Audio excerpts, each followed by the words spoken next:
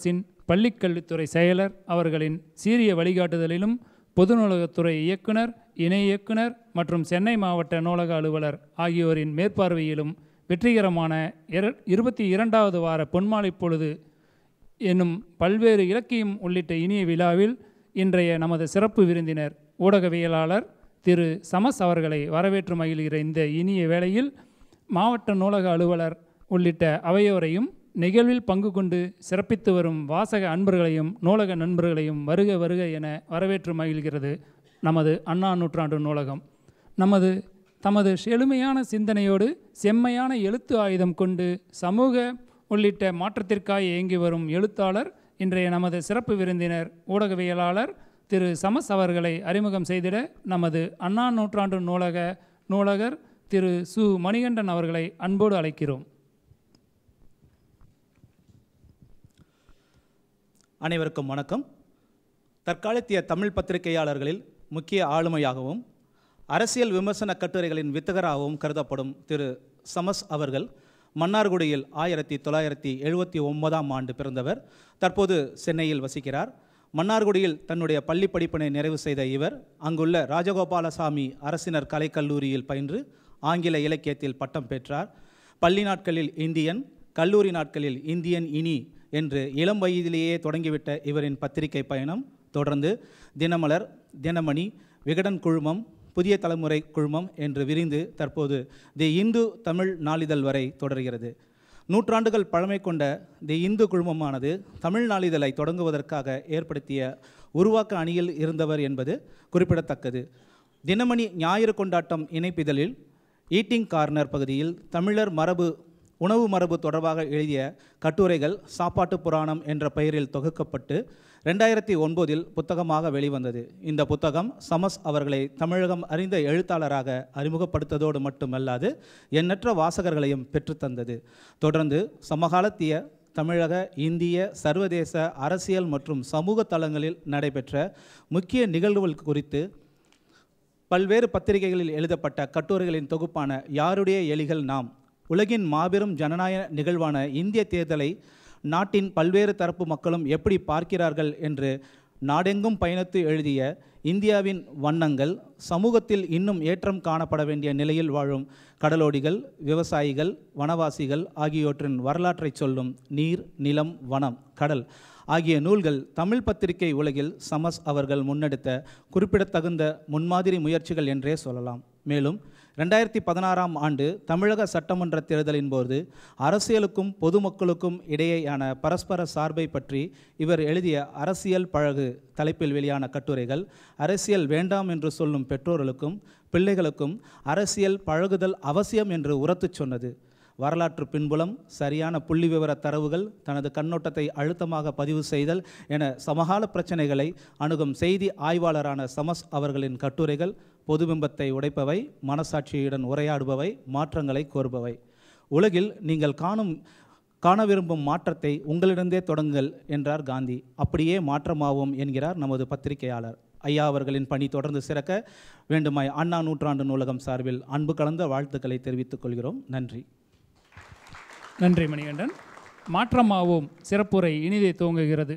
மாற்றம் குறித்து கள்ளிக்கட்டு கவிப்பர கவிப்பேரரசு வைரமுத்து சொல்கிறார் தாய் மண்ணோடு உன்னாலே மாற்றம் வரும்.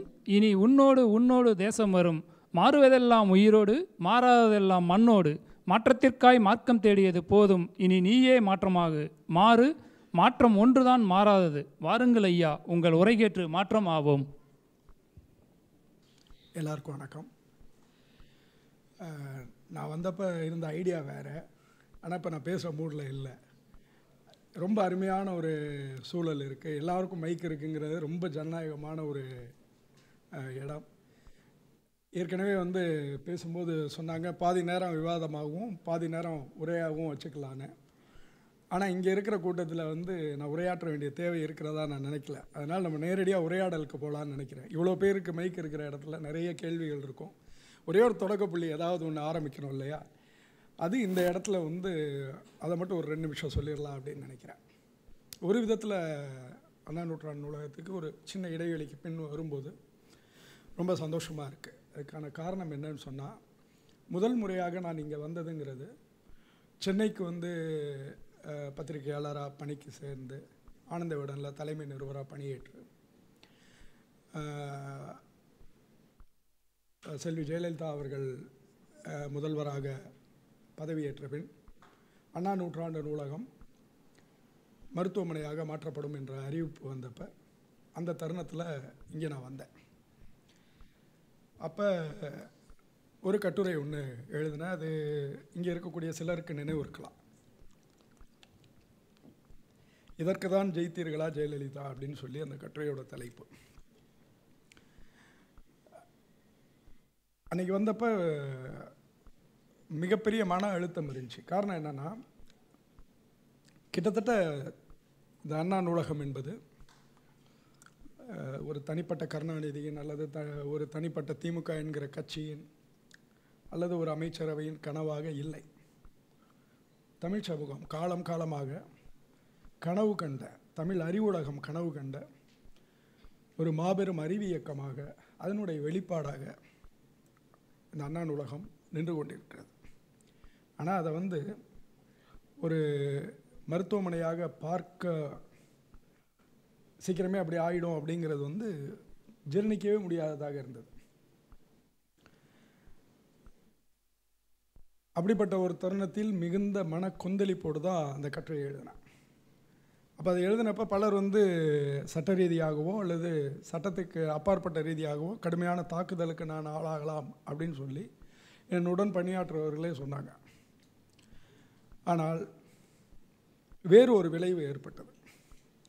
அடுத்த ஒரு வாரத்திலேயே வந்து அது என்ன ஆச்சுன்னு சொன்னால் அந்த கட்டுரை ஒரு அரசியல் இயக்கமாக மாற்றப்பட்டது. முரசொல்லியில் எடுத்து போட்டாங்க. அப்புறம் இடதுசாரிகள் அதை கையில் எடுத்தாங்க.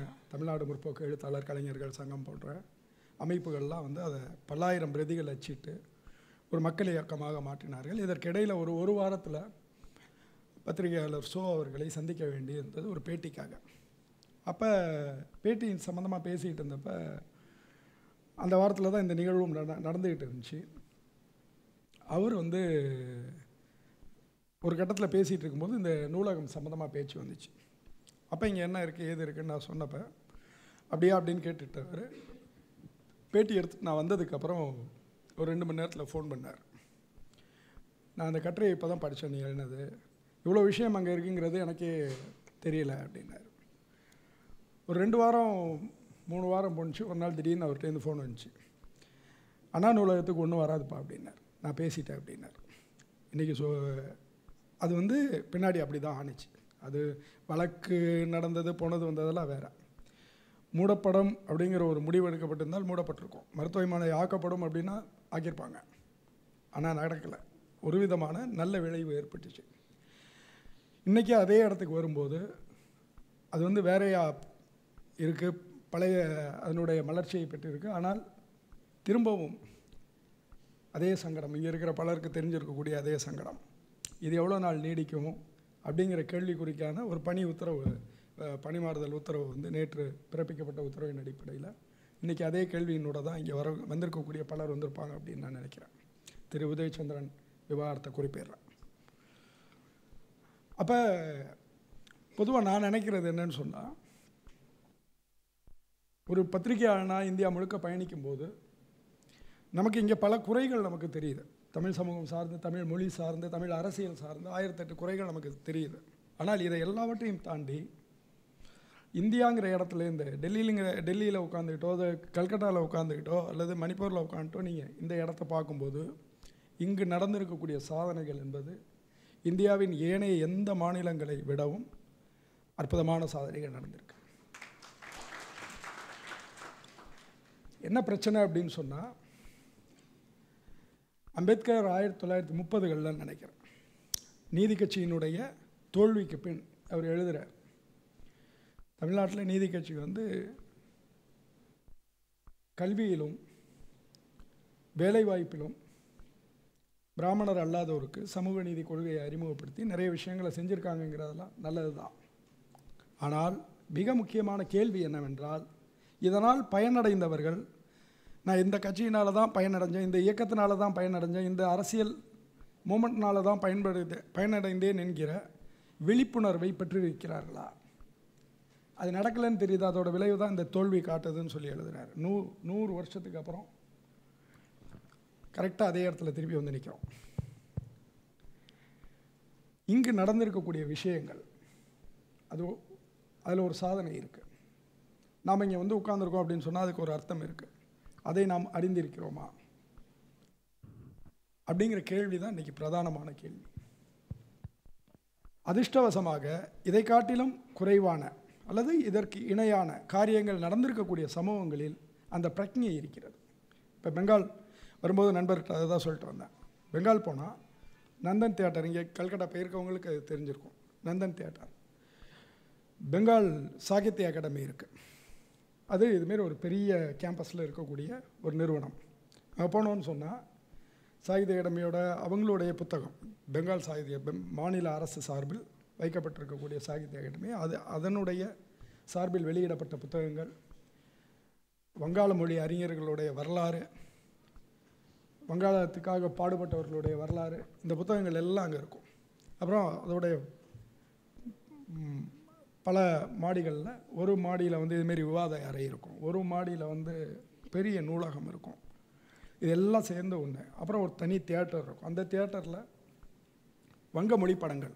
ரொம்ப கம்மியான பணத்தில் நல்ல இடத்துல உட்காந்து பார்க்கலாம். ஒரு முப்பது ரூபா நாற்பது ரூபாய்க்கு வந்து வங்க படங்கள் வந்து நம்ம நல்ல ஏசி தேட்டரில் உட்காந்து பார்க்கறதுக்கான ஏற்பாடு. இப்படியான பல பல விதமான விஷயங்கள் எல்லாம் ஒன்றா இருக்கும். ஆனால் அங்கே உள்ளது எது இங்கே இல்லை? தமிழ்நாட்டில் இல்லை அப்படின்னு சொன்னால் அங்கே அதற்கான அடிநாதம் யார் அப்படிங்கிற பிரஜை பெங்காலிகள்கிட்ட இருக்குது சாதாரணமாக எந்த ஒரு பெங்காலி அவர் எந்த பார்ட்டியாக இருக்கட்டும் என்னவாக இருக்கட்டும் அவருடைய சித்தாந்தம் எதுவாக இருக்கட்டும் எந்த ஒரு அரசு அலுவலகத்தில் நுழைந்தாலும் நான் இதை தொடர்ந்து பார்க்குறேன். சிபிஎம் ஆட்சியில் இருந்த போய் பார்க்குறேன் இப்போ திரிணாமுல் காங்கிரஸ் இருக்கும்போதும் பார்க்குறேன். அவர்களுடைய மேஜையில் தாகூருடைய படம் இருக்கும். அவர் எந்த மதத்தை சேர்ந்தவராக இருக்கலாம் எந்த கட்சியை சேர்ந்தவராக இருக்கலாம் தாகூரோட படம் இருக்கும். சத்யஜித் ரேயோட படம் இருக்கும். வங்க மொழியின் ஆளுமைகளோட எல்லா யா யாராவது ஒரு படம் தாகூர் படம் இருக்கும் கூட அவருக்கு பிடித்த இன்னொரு ஆளுமையோட படம் இருக்கும். இதனோட வெளிப்பாடு எப்படி இருக்குது அப்படின்னு சொன்னால் இந்தமாரி ஒரு அரங்கத்துக்குள்ளார் நுழையும் போது அது அது பெங்கால் அகாடமியில் நுழையும் போது வெளியில் வந்து அவ்வளோ இளைஞர்களை பார்க்க முடியும். நிறைய பேர் ஜோடியாகவே இருப்பாங்க. அதில் சிகரெட் குடிச்சிட்டு இருக்கிறவங்க இருப்பாங்க. ஆண் பெண் ரெண்டு பேரும். அதெல்லாம் யாருக்கும் எந்த உறுத்தலும் ஏற்படுறது கிடையாது. விவாதிக்கிறாங்க. பேசிக்கிட்டு சிகரெட் குடிச்சிட்டு விவாதிக்கிறவங்க இருக்காங்க. டீ பாய்ஸ் அவங்க பாட்டு கேஷுவலாக வந்து உள்ளார வந்து டீ வித்துட்டு இருக்கக்கூடியவங்க இருப்பாங்க.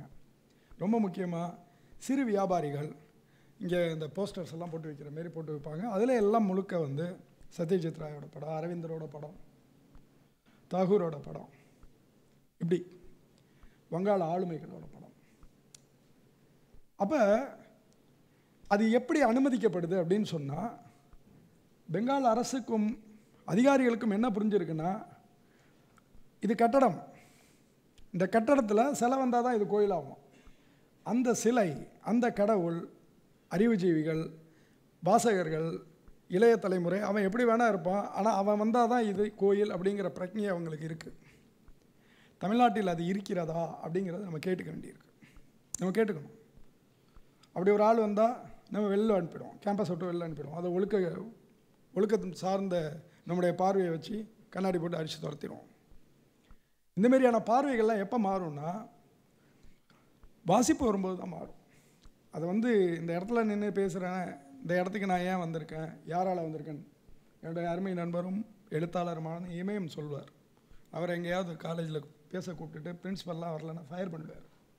என்ன சொல்லி ஃபயர் பண்ணுவார்னா நான் வந்திருக்கேன் ஏன் பிரின்ஸிபல் வரலன்னு சொல்லி கேட்பார்.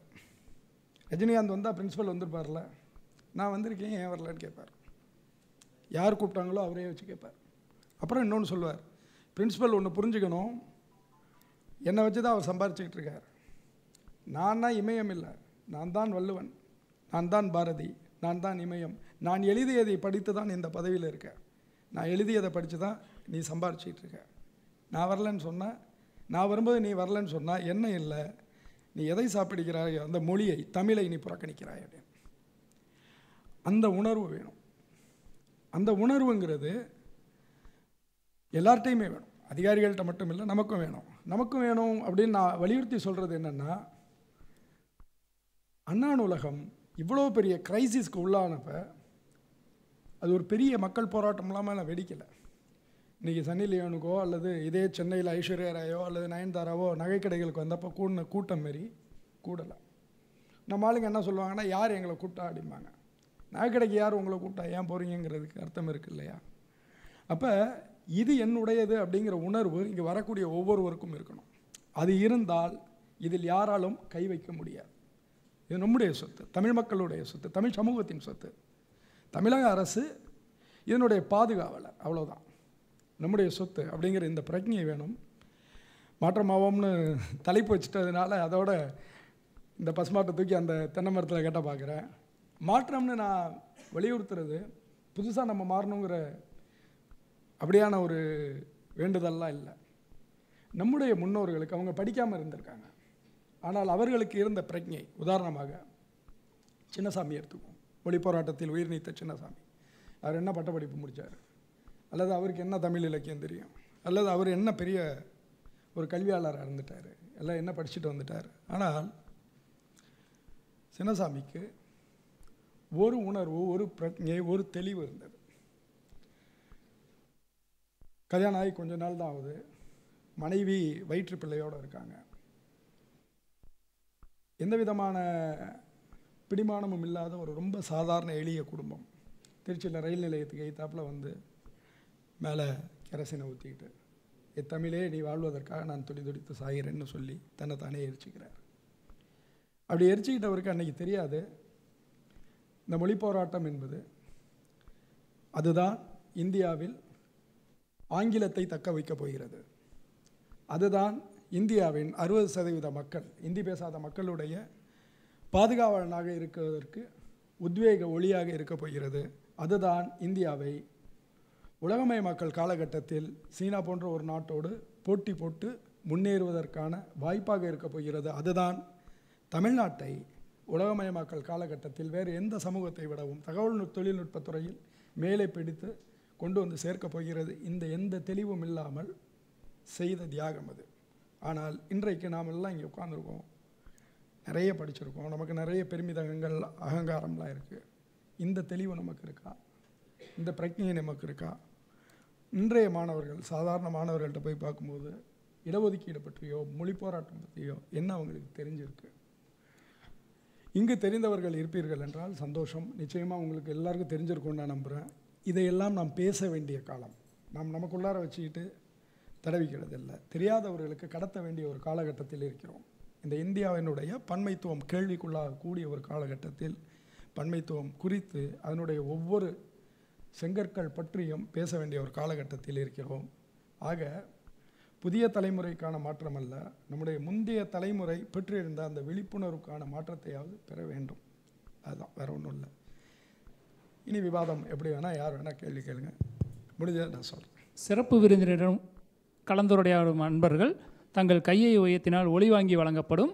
தமிழகம் வந்து ஒரு அசாதாரணமான சூழ்நிலையில் இருந்தபோது அதாவது சொல்லணும் தமிழக முதல் முன்னாள் முதல்வர் வந்து மருத்துவமனையில் இருந்தபோது ஊடகங்கள் இன்னும் கொஞ்சம் முனைப்பாக அந்த ஒரு செயல்பாட்டில் இல்லையோ அப்படின்ற ஒரு ஆதங்கம் இருக்குது அதாவது பிடிச்சி கேள்வி கேட்கல பிடிச்சி நிறுத்தலை ஏன் அவங்கள வந்து மக்களுக்கு அவங்கள காட்டலை அப்படின்னு ஏன் வந்து ஊடகங்கள் வந்து இன்னும் கொஞ்சம் பவர்ஃபுல்லாக வந்து யாரையுமே கேள்வி கேட்கலன்னு ஒரு ஆதங்கம் இருக்குது இன்னொரு விஷயம் வந்து அடிக்கடி உங்கள் மீது உங்கள் கட்டுரைகள் மீது வந்து அந்த விமர்சனங்கள் இப்போ வினவு தளத்திலேயோ இல்லை வேறு ஒரு தளத்திலேயோ வந்து வைக்கிற விமர்சனங்களை பற்றி நீங்கள் என்ன நினைக்கிறீங்க? நீங்கள் ஒரு சமயம் வந்து நேர் எதிர் துரு இரு எதிர் துருவங்களாக இருக்குது இரண்டு கட்சிகளுக்குமே நீங்கள் வந்து வழிகாட்டுதலையும் ஆலோசனையும் சொல்கிறீங்க ஏதாவது ஒரு பக்கமும் சாராமல் ரெண்டு பக்கமுமே சொல்கிறீங்க அது எப்படி எடுத்துக்கிறதுன்னு தெரியும்? முதல்வர் சம்பந்தமான விஷயத்தில் ஊடகங்கள் அளவுக்கு அதிகமாகவே வேலை பண்ணிச்சுன்னு தான் நான் நினைக்கிறேன்.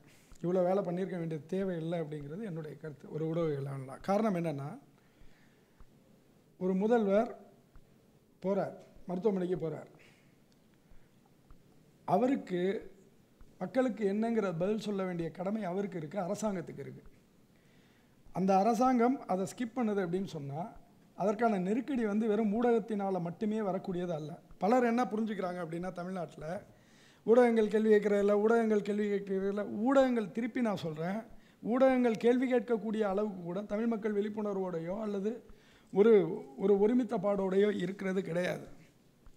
உதாரணமாக நேற்றைய தினம் நக்கீரன் கோபால்கிட்ட பேசிகிட்டு இருந்தேன். அவர் சொன்னார் ஒரே நாளில் நூற்றி அஞ்சு வழக்கு போடப்பட்ட சம்பவம் உட்பட ஒரு பட்டியல் சொல்லிகிட்டு இருந்தேன். நீங்கள் ஏன் மீசை எப்படி வச்சுட்ருக்கீங்க அப்படின்னப்ப அவர் சொன்னார் அப்போல்லாம் எந்த நியூஸ் போட்டாலும் ஆட்டோவில் அடிக்கிறதுக்கு ஆள் அனுப்பிடுவாங்க. அப்படி அனுப்புகிற ஆள் வந்து எல்லாம் அருவாளோடு இருக்கக்கூடிய ரவுடிங்க. அவங்களுக்கு கோபாலை நேராக போய் வெட்டிட்டு வந்துடுன்னு சொல்லி தான் அசைன்மெண்ட்டு அப்போ என்ன வந்து அசைன்மெண்ட் அப்படின்னா முதல்ல நம்ம சாப்பிட்டா இருந்தால் பயப்படுறோம்னு நினச்சிடுவாங்கன்னு சொல்லி நான் மீசை வச்சேன். அப்புறமா என்ன பண்ணிட்டாங்கன்னா ஆட்டோவில் அனுப்பும் போதெல்லாம் மீசை வச்சிருப்பான் அவனை போய் நேராக போட்டுரு அப்படின்னு சொல்லி அனுப்புகிறாங்கன்னு சொல்லிட்டு அவர் ஆஃபீஸில் நான் போகிறேன் அவரை மாரியே எல்லாம் மீசை வச்சுட்டு நிற்கிறாங்க அதை தான் நான் கேள்வியாக கேட்குறேன் என்ன உங்கள் ஆஃபீஸில் எல்லாரும் இப்படி வச்சுட்டு கேட்குறாங்கன்னா இல்லை வந்தோன்னே அவன் வந்து இறங்குற ஆளுக்கு மீசை வச்சவனை வெட்டணும்னா இங்கே பத்து பேர் மீசை வச்சுட்டு இருக்கானே அவன் யாருன்னு கேட்குறது உள்ளார நான் பின்னாடி எல்லாம் ஓடி பிடிச்சி கிளம்பிடுவேன்னார் எதுக்கு சொல்கிறேன்னா நமக்கு இது கேட்குறதுக்கு சிரிப்பாக இருக்கும். ஆனால் எவ்வளோ பெயின்ஃபுல்லான இன்னொரு விஷயம்னு பாருங்கள் இந்த அளவுக்கு தான் டெமோக்ரஸி இருக்குது டெமோக்ரஸிங்கிறது மக்கள் எந்த அளவுக்கு விழிப்புணர்வோடு இருக்காங்கங்கிறதுக்கு இருக்குது கடந்த காலகட்டத்தில் இந்தியாவிலே அதிகமாக ஊடகவியலாளர்கள் மேலே வழக்கு போடப்பட்டதுங்கிறது தமிழ்நாட்டில் தான். இதற்காக எந்த வாசகர்கள் கொந்தளிச்சிட்டாங்க அல்லது எந்த வாசகர்கள் கேம்பெயின் பண்ணிட்டாங்க? ஒன் செகண்ட் அதே கேள்விக்கு திருப்பி கேட்குறேன். நயன்தாராவுக்கு கூட்டம்னா இப்போ ஒரு ஐயாயிரம் பேர் கூடுறாங்கல்ல?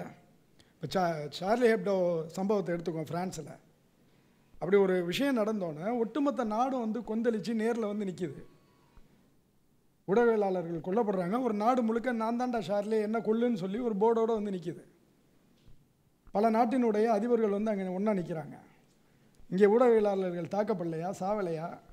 அதை பற்றி என்ன அக்கறை இருக்குது நமக்கு வந்து நான் நான் வந்து என்னை வந்து மக்களில் ஒருத்தனை தான் கருதிக்கிறது. அதனால் நான் என்ன சொல்லுவேன்னா சட்டியில் என்ன இருக்கோ அதுதான் ஆப்பையில் வரும். நமக்கான அரசியல் தலைவர்கள் நம்ம எந்த லட்சணத்தில் இருக்கோமோ அதுக்கேற்ற மாதிரி தான் வரும். ஒரு முதலமைச்சராக இருக்கிறவர் அவருக்கு உடம்பு முடியலைன்னு சொன்னால் தெரிவிக்கப்படணும். அதை ஏன் ஊடகம் தெரிவிக்கணும்? மக்களோட மக்களுடைய அழுத்தம் என்னவாக இருந்துச்சு?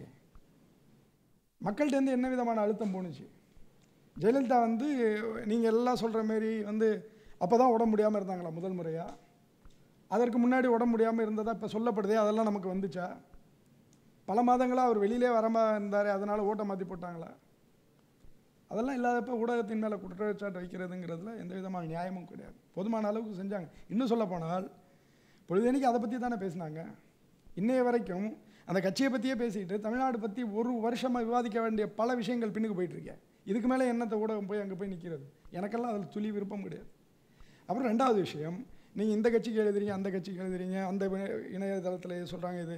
ஒரு விஷயம் நான் ஒன் செகண்ட் திருப்பி சொல்கிறேன் நான் மக்களில் ஒருத்தனை தான் நிற்கணும்னு நினைக்கிறேன். இந்த கட்சி அந்த கட்சி அதெல்லாம் ஒன்றும் கிடையாது. நீங்கள் ஏதாவது நல்லது பண்ணுவீங்களா? உங்களை பற்றி சந்தோஷமாக எழுதுவேன். இன்றைக்கி உங்கள்கிட்டருந்து நல்லது வருதா? சந்தோஷமாக எழுதுவேன். நீங்கள் சரியாக ஒன்று பண்ணலையா? விமர்சித்து எழுதுவேன் என்னை பொறுத்த வரைக்கும் ஆளுங்கட்சியை பற்றி என்னைக்காவது வந்து நீ நல்லது பண்ணு அப்படின்னு எழுதுனேன்னா ஒரு ஆளுங்கட்சிங்கிறது நல்லது பண்ணி ஆகிறதுக்கான கட்டாயத்தில் இருக்கக்கூடியது தானே. அது நாசமாக போட்டுன்னு எப்படி விட முடியும்? என்ன அடிச்சுக்கிட்டாலும் அதனுடைய ஒரு ஆளுங்கட்சியினுடைய வீழ்ச்சிங்கிறது ஒட்டுமொத்த மாநிலத்தையும் பாதிக்கக்கூடியது அல்லவா? அதே போல தான் எதிர்க்கட்சிகளும். எதிர்க்கட்சி வந்து பவர்ஃபுல்லாக இருந்துச்சுன்னா மாறும். இப்போ இந்த விஷயத்தையும் எடுத்துக்குவோம். நிலம் கையகப்படுத்துகிற விச மசோதா வந்து மத்தியில் அறிமுகப்படுத்துகிறாங்க அப்போ எதிர்க்கட்சிகள் வந்து ரொம்ப பவர்ஃபுல்லாக ப்ளே பண்ணுறாங்க திருப்பி வித்ட்ரா பண்ணிக்க வேண்டிய நிலை ஏற்படுது மத்திய அரசாங்கத்துக்கு. ஆனால் அதுக்கு பின்னாடி இன்றைக்கெல்லாம் வந்து எதிர்க்கட்சிகள் எங்கே இருக்குதுன்னு கேட்க வேண்டிய சூழல் தானே இருக்குது இது காந்தியினுடைய சம்பாரன் நூற்றாண்டு. இது. சம்பாரன் நூற்றாண்டுங்கிறது இது ரொம்ப முக்கியமான ஒரு விஷயம். இந்தியாவில் காங்கிரஸை அடித்தளத்தில் போடக்கூடிய வச்ச ஒரு நிகழ்வு அது. காந்தி வந்து சமரான் போகும்போது அங்கே போய் ஒரு ஒரு லாங் பீரியட் தங்குவோம் அப்படின்லாம் நினைக்கல. அங்கே அவுரி சாகுபடி பண்ணக்கூடிய விவசாயிகளுக்கும் அதில் பண்ணையாளர்களாக இருக்கக்கூடிய ஆங்கிலேயர்களுக்கும் இடையில் பிரச்சனை இருக்குது ரொம்ப கொடுமையான அநீதி அவங்க அந்த பண்ணையார்கள் வந்து விதிக்கிறாங்க ஆங்கிலேயர்கள். இதை வந்து தொடர்ந்து வந்து ரொம்ப இவ்வளோ கஷ்டப்படுறாங்கன்னு சொல்லி ஒரு விவசாயி காந்தியை போய் தொடர்ந்து பல முறை போராடி கூப்பிட்டு வராரு. அங்கே போகும்போது காந்தி வந்து விவசாயிகள் படக்கூடிய அவஸ்தையை பார்த்துட்டு அங்கேயே தங்கிடுறதுன்னு முடிவு பண்ணுறாரு ஒரு நாட்டினுடைய சுதந்திர போராட்டத்தை நோக்கி போகணும்னு நினைக்கக்கூடிய ஒரு தலைவர் ஒரு ஊரில் ஒரு பிராந்தியத்தில் ஒரு மாவட்டத்தில் நடக்கக்கூடிய ஒரு விவசாயிகளோட பிரச்சனைக்காக எவ்வளோ நாள் போய் இருப்பாங்க அங்கே ஒரு கிட்டத்தட்ட ஒரு வருஷம் அங்கே இருக்கார். பதினோரு மாதங்கள் அங்கே இருக்கார். போயிட்டு போயிட்டு வந்து. அப்புறம் அது மட்டும் இல்லாமல் அங்கே இருக்கக்கூடிய பிரச்சனைகளை பலவிதமாக பார்க்குறாரு ஒரு பக்கம் தீண்டாமை இருக்குது அதுக்கு எதிரான வேலைகளை தனியாக பண்ணுறாரு இன்னொரு பக்கம் கவர்மெண்ட்டுக்கு எதிராக இங்கிலீஷ் கவர்மெண்ட்டுக்கு எதிரான போராட்டங்களை ஒரு பக்கம் பண்ணிகிட்ருக்காரு இன்னொரு பக்கம் அங்கே அறியாமை இருக்குது இவருடைய தோழர்களை வரவழைச்சி பள்ளிக்கூடங்களை ஆரம்பிக்கிறார். இது எல்லாத்தையும் சேர்த்து பண்ணுறார் நூறு வருஷத்துக்கு அப்புறம் அதே காங்கிரஸ் பார்ட்டி வந்து நிற்கக்கூடிய இடத்த பாருங்கள் மத்திய பிரதேஷில் இவ்வளோ பெரிய ப்ராப்ளம் நடக்குது. விவசாயிகளுடைய பிரச்சனை நடக்குது. செத்து போகிறாங்க கொந்தளிக்கிறாங்க. காங்கிரஸ்லேருந்து போகக்கூடிய ராகுல் காந்தி போய் அங்கே நின்று ஃபோட்டோ எடுத்துகிட்டு அவர் பாட்டுக்கு பாட்டியை பார்க்குறேன்ட்டு போயிட்டார். எதிர்கட்சி எப்படி திட்டாமல் இருக்க முடியும்? ஆளுங்கட்சியை மட்டும் எப்படி திட்ட முடியும்? மக்கள்கிட்டேருந்து பார்க்குறாங்க ரெண்டையும் தான் கரிசனத்தோடு எடுத்துக்குவோம் அப்போ இவங்களோட பிரச்சனை என்னென்னா ஒன்று நீ இங்கே இரு இல்லாட்டி அங்கே இருங்கிறது. அதுதான் புஷிசம்னு சொல்கிறது அதுதான் ஃபேசிசம்னு சொல்கிறது என்னென்னா ஃபேசிசம் பற்றி பேசக்கூடிய ஆட்களே ஃபேசிஸ்டாக இருக்கிறதுங்கிறது மறைமுகமாக இங்கே நடக்கக்கூடிய அவலம். நீ ஒன்று என்கிட்ட இல்லை இல்லாட்டி அவன்கிட்ட தான் இருக்கேங்கிறது புஷ் ஒன்றது இல்லையா? அதுதானே இவங்க சொல்கிறதாகவும் இருக்குது மக்கள் தரப்புலேருந்து பேசக்கூடிய ஒருத்தனுக்கு அந்த விதமான கடமை கிடையாது. அந்த விதமான அப்படியான ஒரு கமிட்மெண்ட்லையும் இருக்க வேண்டிய தேவையில்லை. என் மேலான விமர்சனங்களை நான் அப்படி தான் எடுத்துக்கிறேன். ஜல்லிக்கட்டு போராட்டத்தின் போது அந்த ஜல்லிக்கட்டு நடந்துட்டு இருக்கும்போது அந்த இளைஞர்களை பாராட்டி அவங்க அந்த போராட்டத்தை எப்படி ஒருங்கிணைச்சாங்க த த தன்னியல்பாக அதை எப்படி அதை பண்ணாங்கன்னு சொல்லி ரொம்ப பாராட்டி என்னை அன்றைக்கி பீச்சிலேயே வந்து விவாதங்கள்லாம் நடத்தினாங்க டிவி அதுக்கு அடுத்த நாள் அந்த போலீஸ் அராஜகம் ஆகி அது அந்த ஒரு எண்டு வந்தோடனே அன்னைக்கு நைட்டு விவாதங்களில் வந்து அந்த ஆங்கர்ஸ்லாம் வந்து மிக கொடூரமான கேள்வி ஒரு குற்றவாளி கேட்குறது போல் அந்த மாணவர்கள் நடத்துனாங்க. அதாவது ஒரு நாள் முன்னாடி இந்த அவங்க ஹீரோ மாதிரி மதிக்கப்பட்டாங்க. அதுக்கு அடுத்த நாள் ஒரு டிவி பேரை சொல்ல விரும்பல. அந்த அவர் நிருபர் அந்த ஆங்கர் வந்து நீங்கள் வந்து சரியாக பிளான் பண்ணல. நீ உங்களுக்குள்ளே ஒவ்வொரு ஒரு மாதிரி பேசிக்கிட்டீங்க. நீங்கள் சரியாக அதை பண்ணல இதை பண்ணலன்னு குற்றச்சாட்டாக ஒரு ஒரு குற்றவாளியை வச்சு கூண்டில் நடத்துகிற மாதிரி எனக்கு நடத்துனாங்க. அதையும் திடீர்னு சடனாக ஒரே நாளில் எப்படி உங்களுடைய மனப்பாங்கு மாறிடுதுங்கிறது தான் கேள்வி. உங்களோட அப்படிங்கிறது இல்லை இது. இல்லை பொதுவாக கேட்டேன். As media person right right right அதாவது என்னென்னா அடிப்படையில் நம்மள்ட்ட ஒரு ஸ்டேட்டிஸ்ட் இருப்பான். ஸ்டேட்டிஸ்ட்னா அரசுவாதி. இந்த அரசுவாதி என்ன பண்ணுவான்னு சொன்னால் அது வந்து மீடியாவில் மட்டும் கிடையாது. எல்லாத்தையுமே இருப்பான். அவன் என்ன பண்ணுவான்னா முதல்ல அரசு அரசு சார்ந்த சட்ட புத்தகம் அது சார்ந்த நிலைப்பாடுக்கு என்ன நியாயம் கற்பிக்கிறதோ அதற்கான நியாயங்களை உற்பத்தி பண்ணிக்கிட்டே இருப்பான். இதற்கு எதிராக தான் நம்ம வந்து மக்கள் சார்ந்து சிந்திக்க வேண்டியிருக்கு. அதில் வந்து ஊடகவியலாளர் இப்படி இருக்கிறாரு அந்த அறிஞர் அப்படி இருக்கிறார் அப்படிங்கிற வேறுபாடெலாம் கிடையாது. முத நாள் வரைக்கும் ஸ்டேட் அரசு வந்து என்ன நினைக்குதுன்னா மாணவர்களோட கனிவாக பார்க்குது மறுநாள் காலையில் அதே ஸ்டேட் காலையில் காலையில் லத்தி எடுக்குது. கொஞ்ச நேரம் கழித்து கையில் தீப்பெட்டி எடுக்குது.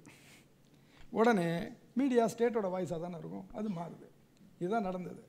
அட் த சேம் டைம் இன்னொரு ப்ராப்ளம் இருந்துச்சு. அதையும் நான் சொல்கிறேன் ஜல்லிக்கட்டு போராட்டத்தை பொறுத்த வரைக்கும் முத நாள் வரைக்கும் கிட்டத்தட்ட பத்து லட்சம் பேர் இருக்காங்க. மறுநாள் பத்தாயிரத்துக்கு உட்பட்டவங்க இருக்காங்க. அதுலேருந்து ஒரு சதவீதம் தான். இந்த இந்த ஒரு மாறுபாட்டையும் நம்ம க கணக்கில் எடுத்துக்கணும். அப்புறம் ஒரு போராட்டம்ங்கிறது அதற்கான எல்லை என்ன அப்படிங்கிறத திட்டமிட்டு வகுத்து கொள்ளப்பட்ட ஒரு விஷயம். போராட்டம்ங்கிறது வந்து ஒரு இடத்துல உட்காந்து நான் நினச்சது எல்லாத்தையும் தலைகீழ மாற்று அப்படிங்கிறது இல்லை. முதல் நாள் வந்து அந்த போராட்டத்தினுடைய இலக்கு வந்து ஒரு லெவலுக்கு போகுது. அது கிட்டத்தட்ட வந்து வெற்றியை நோக்கி மாணவர்களுக்கு திரும்பிடுது. அடுத்த நாள் வந்து பேசுவதற்கான ஆட்கள்ங்கிறது இங்கேருந்து தயாராகலை. யார்? மாணவர்கள் தரப்பிலிருந்து.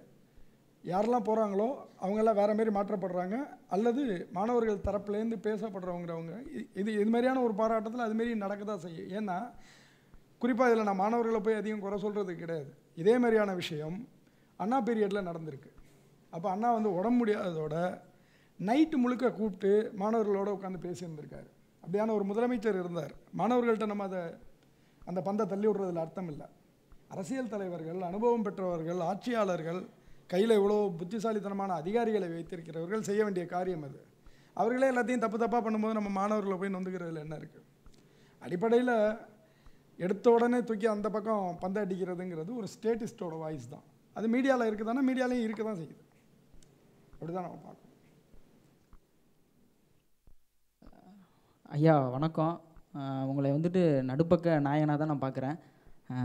ஒரே ஒன்று இன்றைக்கி வந்துட்டு அரசியல் மாற்றம் வேணும்னு தான் நான் நினைக்கிறேன். கொஞ்சம் அதிகமாக நேரம் எடுத்துகிட்டு நான் மன்னிக்கவும் இங்கே அப்துல் ரஹ்மான் வந்துட்டு சொல்லுவார் கவிக்கோ அப்துல் ரஹ்மான் மதம் பிடித்தவர்கள் மதம் படித்தவர்களை விட மதம் பிடித்தவர்களே இங்கே அதிகம்னு சொல்கிறாரு அதுக்கப்புறம் இறைவன் உண்டு என்று சொல்லுகிறவனை விட இறைவன் இல்லை என்று சொல்லுகிறவனே மேல் என்று சொல்லுகிறார். ஒரே ஒரு நீட் தேர்வுக்கு முந்தின நாள் அடுத்த நாள் வந்துட்டு விநாயகர் சதுர்த்தி நடந்துச்சு. தீர்ப்புக்கு அப்புறம். அதோட ஒரு மூடநம்பிக்கையான ஒரு விஷயத்த கவிதையாக சொல்லியிருப்பார். மாப்பா கவிதை வெளியிட்டுள்ளால சொல்லியிருப்பார். சாமிதானே நான் என்ன ஏண்டா சமுத்திரத்தில் கரைக்கிற? சாமிதானே நான் என்ன ஏண்டா சமுத்திரத்தில் கரைக்கிற? வண்டியில் ஏற்றுற ஊரை சுற்றுற சாத்திரம்னு சொல்லி என்ன ஏண்டா சாகடிக்கிற? கும்பிட்ட சாமியே குட்டையில் குழப்புற? நம்பி இருந்த என்ன? நட்டாத்தில் கரைக்கிற. எங்கேயோ செஞ்சதை இங்கேயும் செய்கிற எங்கேயோ செஞ்சதை இங்கேயும் செய்கிற இங்கே இல்லாததை ஏன்டா செய்கிற இங்கே இல்லாததை ஏன்டா செய்கிற பூதமாட நான் பூதமாட நான் என்ன ஏன்டா இப்படி போட்டு உடைக்கிற? சாமி தானே நான் ஏங்கண்ண ஏன்டா குத்துற? சாமி தானே நான் ஏங்கண்ண ஏன்டா குத்துற? இனி நீ கும்பிடாத நான் கும்பிடு என்னை விட்டுறா அப்படின்னு சொல்கிறாரு நான் என்ன நினைக்கிறேன் அப்படின்னா மூட நம்பிக்கைகள் ஒழியும்னு நான் நினைக்கிறேன். இன்னொன்று நீங்கள் ஒரு இதில் பேசியிருப்பீங்க. அஹ், ஐயாவும் நீங்களும் பேசியிருப்பீங்க. அவர் வந்துட்டு தமிழ் அழியறதுக்கான வாய்ப்புகள் இருக்குது நீங்கள் தமிழ் அழிய அழியாது அப்படின்னு சொல்லிட்டு பேசியிருந்தீங்க.